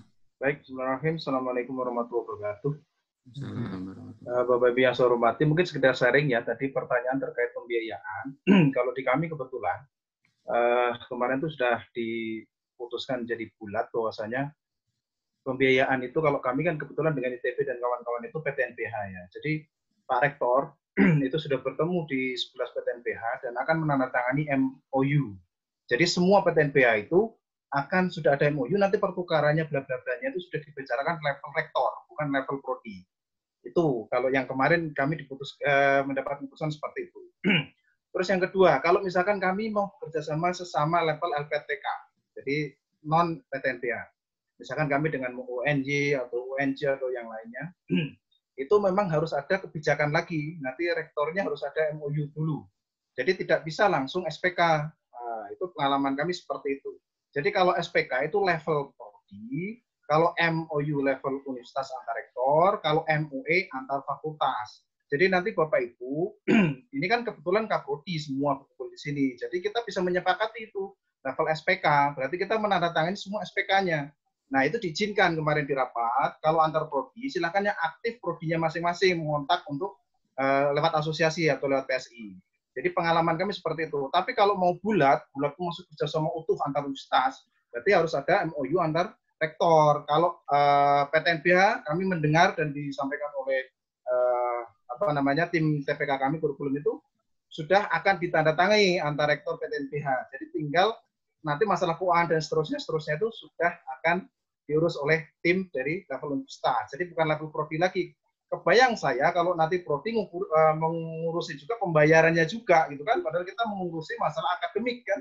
Nah itu maksudnya. Jadi kita uh, jangan diposisikan masalah uh, apa namanya non akademik. Kalau pengalaman baik. kami seperti itu Pak Ketang. Ya, terima kasih. Baik, baik. Terima kasih informasinya dan pencerahannya Pak Sam. Silakan Bapak Ibu kalau masih ada satu dua pertanyaan. Ini sudah jam pukul 15. Gimana Bapak Ibu? Ya, silakan. Iya, ya Pak. Silakan Pak Prof. Oh ya. Tadi mengenai ini apa kurikulum inti kan. Jadi kan itu 60 SKS. Memang itu kan kayaknya kecil sedikit sekali ya untuk memberikan warna daripada prodi. Kalau biasanya kan kurikulum inti kan 80 sampai 100 gitu.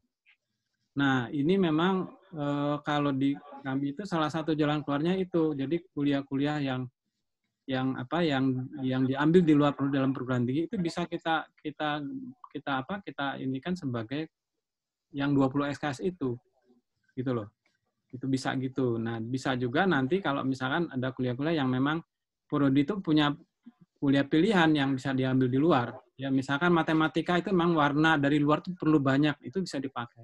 Itu satu. Yang kedua, misalkan dari delapan kalau kita lihat delapan yang itu itu misalkan ada satu yang saya kira selalu ada, selalu bisa. Apa itu tugas akhir? Nah, tugas akhir bisa kita bebani ke yang tayang itu yang yang 40 SKS itu bisa. Ya, apa pun yang diambil. Kalau dia misalkan ngambil riset udah jelas. Kalau dia ngambil misalkan dia mengajar, itu kan bisa juga jadi tugas akhir. Nah, ini ini hal yang bisa kita apa kita siasati sehingga jangan sampai nanti warna prodi itu uh, apa terlalu kecil kan itu. Nah, itu yang saya bisa dilihat mana yang memungkinkan untuk memberikan ciri prodi. Nah, ini ini yang saya kira bisa bisa dilakukan oleh prodi sehingga uh, warna prodi itu tidak habis dengan warna-warna yang lain ini. Ini kan kalau yang namanya ciri kan harusnya dua per tiganya harus lebih besar dari kalau 60 kan itu di bawah 70, kurang dari separuh memang warnanya akan akan apa akan pudar di situ. Nah, di sinilah saya kira yang bisa disiasati bagaimana yang 20 SKS yang diambil di luar prodi itu itu bisa dimasukkan dalam ini. Jadi kalau misalnya oke okay lah hak dia ngambil di luar prodi, tapi kita mengarahkan gitu. Itu mungkin masih memungkinkan. Nah, ini ini saya kira yang yang apa supaya jangan sampai nanti warna prodinya hilang gitu. Ya. Nah, kemudian menjawab pertanyaan Pak Pak uh, Pak Heru tadi ya. Jadi saya itu hanya cara berpikir Pak Heru, bukannya kembali ke zaman dulu masanya apa major dan minor bukan. Hanya cara berpikir kita mengelompokkan supaya mudah melihatnya. Ya itu pun dihilangkan sebenarnya tidak masalah. Nah, tapi tapi dengan cara itu kita bisa mengelompokkan sehingga lebih mudah buat kita untuk berpikir. Saya kira itu aja. Terima kasih. Baik, terima kasih. Uh, mungkin ini ada pertanyaan titipan dari kawan-kawan Bapak Pak uh, Prof Mitra dan Bu Ida mungkin Bu Ida. Uh, apakah dalam waktu dekat ini asosiasi itu masih uh, konsisten dengan CP yang selama ini atau mau kira-kira akan ada uh, revisi CP terkait dengan Merdeka Belajar dan Kampus Merdeka ini kira-kira gimana Prof Mitra ya, dan jawab ya Pak ya. Ya, silakan. Nah, jadi kalau kami lihat itu sebenarnya kan dari awal tadi saya jelaskan kampus merdeka itu tidak merubah kurikulum sebenarnya kalau kami lihat. Artinya eh, eh, KKNI yang yang di situ kita sudah rumuskan apa yang harus ada untuk jadi prodi yang memberikan ciri. Itu nggak perlu berubah. Ya, jadi jadi kita nggak perlu merubah itu. Yang perlu kita melakukan penyesuaian saja. Gitu. Karena di dalam KK ini yang kita rumuskan itu kira-kira sekitar 60 70 persen lah kira-kira yang beri, memberikan ciri dari prodi. Gitu jadi jadi kalau kami melihatnya kita nggak perlu merubah lagi yang sudah kita buat itu juga sudah cukup lama itu kita buatnya dengan kampus merdeka saya kira yang perlu adalah penyesuaian saya kira itu terima kasih baik terima kasih Prof Mitra Bu Ida mungkin ada yang disampaikan Bu Ida Bu Ida Baik, tidak ada. Silakan Bapak Ibu masih ada kesempatan. Ya sedikit silakan. Pak. Oh ya, ya silakan ya. Bu Ida. Ya terima kasih. Saya juga banyak belajar dari pemateri yang lain, juga dari uh, masukan. Tapi terutama betul sekali ini ada ada aturan yang harus ditetapkan oleh perguruan tinggi, oleh uh, fakultas, begitu, dan oleh prodi Bapak Ibu. Jadi Eh, ketika implementasi yang terkait dengan akademik gitu. Jadi itu program studi. Kenapa? Karena kita harus merumuskan kesetaraan SKS tadi, konversi SKS. Nah, kalau di kami barangkali ya Pak Samsudin ketika anak memilih uh, project riset itu setaranya seperti apa gitu walaupun nanti dituangkan di dalam SPK. Nah, itu yang barangkali kalau yang sudah ada nampaknya itu sudah uh, kalau kami sih sudah jalan saja untuk yang pilihan yang kalau pilihan yang kampus merdeka justru yang harus disepakati atau harus dibuat itu adalah struktur bagaimana setara 20 SKS misalnya uh, dia pilih project research dia pilih uh, dan lainnya. Dan itu harus setara dengan tempat atau institusi uh, mahasiswa pilih. Jadi kalau saya sih lebih baik berdasarkan pengalaman jadi institusi mana yang sudah sudah uh, apa namanya sudah terbiasa menerima uh, atau apa namanya uh, kerjasama uh, lembaga yang di luar uh, UPI itu kayak kami seperti LIPI, LAPAN dan sebagainya itu kan artinya sebenarnya sebelumnya sudah punya MOU atau sudah biasa kerjasama. Nah itu di di apa namanya disepakati di dalam SPK. Soalnya kalau dari institusi baru bisa jadi memang agak sulit. Jadi kita bisa memilih Bapak Ibu institusi mana yang relevan dengan uh, ini. Pun ada pertanyaan di dalam uh, grup bahwa ketika uh, kita memilih uh, mahasiswa memilih uh, memilih instit, uh, apa namanya uh, KKN tematik misalnya. Kalau kami itu sebenarnya sudah ada di bawah LPPM. Jadi tinggal kembali lagi disetarakan menjadi 20 SKS. Jadi ketika konversi mata kuliah 20 SKS itu isinya apa, maka itu yang harus diinginkan disiapkan begitu. Dan ini juga mungkin Bapak Ibu juga bisa bersama-sama share di forum diskusi ini kalau kita sudah menyiapkan SKS 20 SKS untuk kegiatan 8 kegiatan itu apa saja itu juga baik menjadi forum diskusi karena itu juga nampaknya perlu disiapkan. Demikian barangkali terima kasih. Baik, terima kasih Ibu Ida. Eh, gimana Bapak Ibu ini sudah pukul 15.08 atau kita cukupkan diskusi kita karena memang cekap, cekap Ya, diskusi Oke. sekali ini mungkin tidak cukup nanti akan kita rancang lagi untuk diskusi-diskusi yang akan datang. Uh, kami minta closing statement dari uh, Prof. Mitra untuk sekaligus menutup kegiatan pada hari ini. Silakan, Prof. Terima kasih, Bapak sekalian. Alhamdulillah kita sudah membicarakan tentang kurikulum kampus mereka. Mudah-mudahan apa yang kita bicarakan ini memberikan pencerahan buat kita semua dan kita sama-sama belajar. Mudah-mudahan dengan demikian kegiatan kita untuk melaksanakan kurikulum kampus merdeka menjadi lebih lebih jelas, lebih tepat, jadi kita nggak pusing. Segera itu, uh, terima kasih untuk semuanya. Uh, saya, kalau ada salah kata mohon maaf.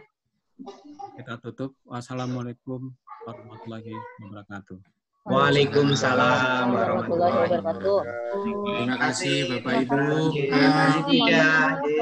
Jangan lupa isi daftar hadir Bapak Ibu ya. Oh iya iya. Ya. Bisa diisi lagi Pak daftar isinya Pak. Diputar dulu, putar dulu Pak. Oh iya. Gimana? Dipoto Atur nuwun Pak. Semua, pakai tangan. Oh.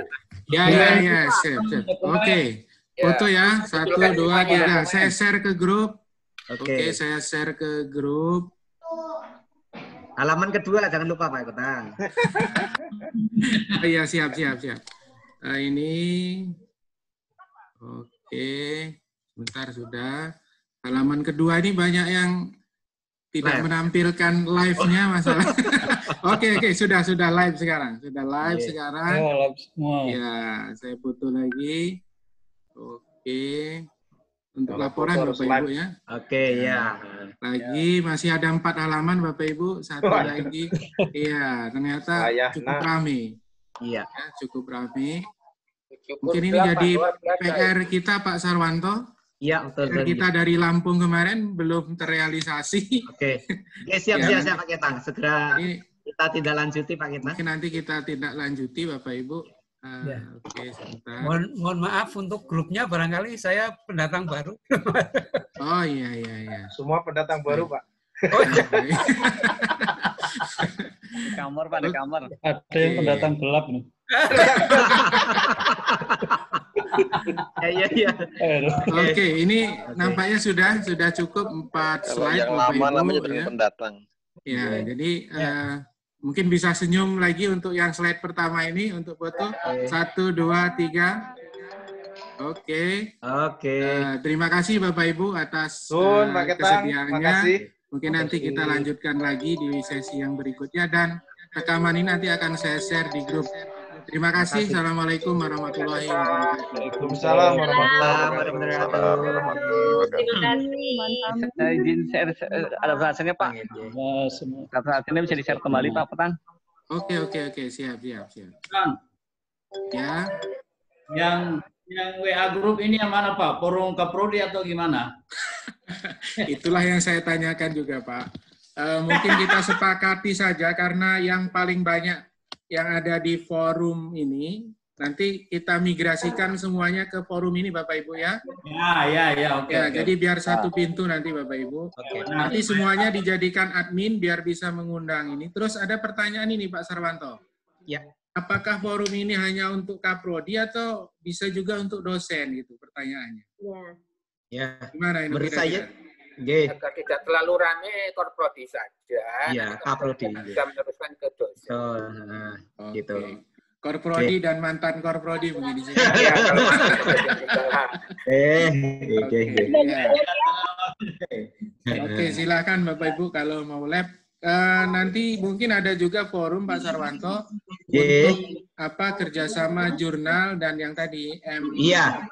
Betul, Eh, Pak. SPK Itu yang ya. sangat perlu ya. Betul, betul. Nah, nah. Oke, terima kasih Bapak Ibu. Silakan Bapak Ibu untuk silakan. Ya, ya. Oke, terima kasih. Assalamualaikum. Nah ya, Bapak Ibu. Waalaikumsalam. Terima kasih. Assalamualaikum. Waalaikumsalam warahmatullahi wabarakatuh. Artinya dari mana Pak Petang? Terima kasih. Assalamualaikum. Pamit ya. kasih. Selamat sore. Selamat sore Pak. Waalaikumsalam.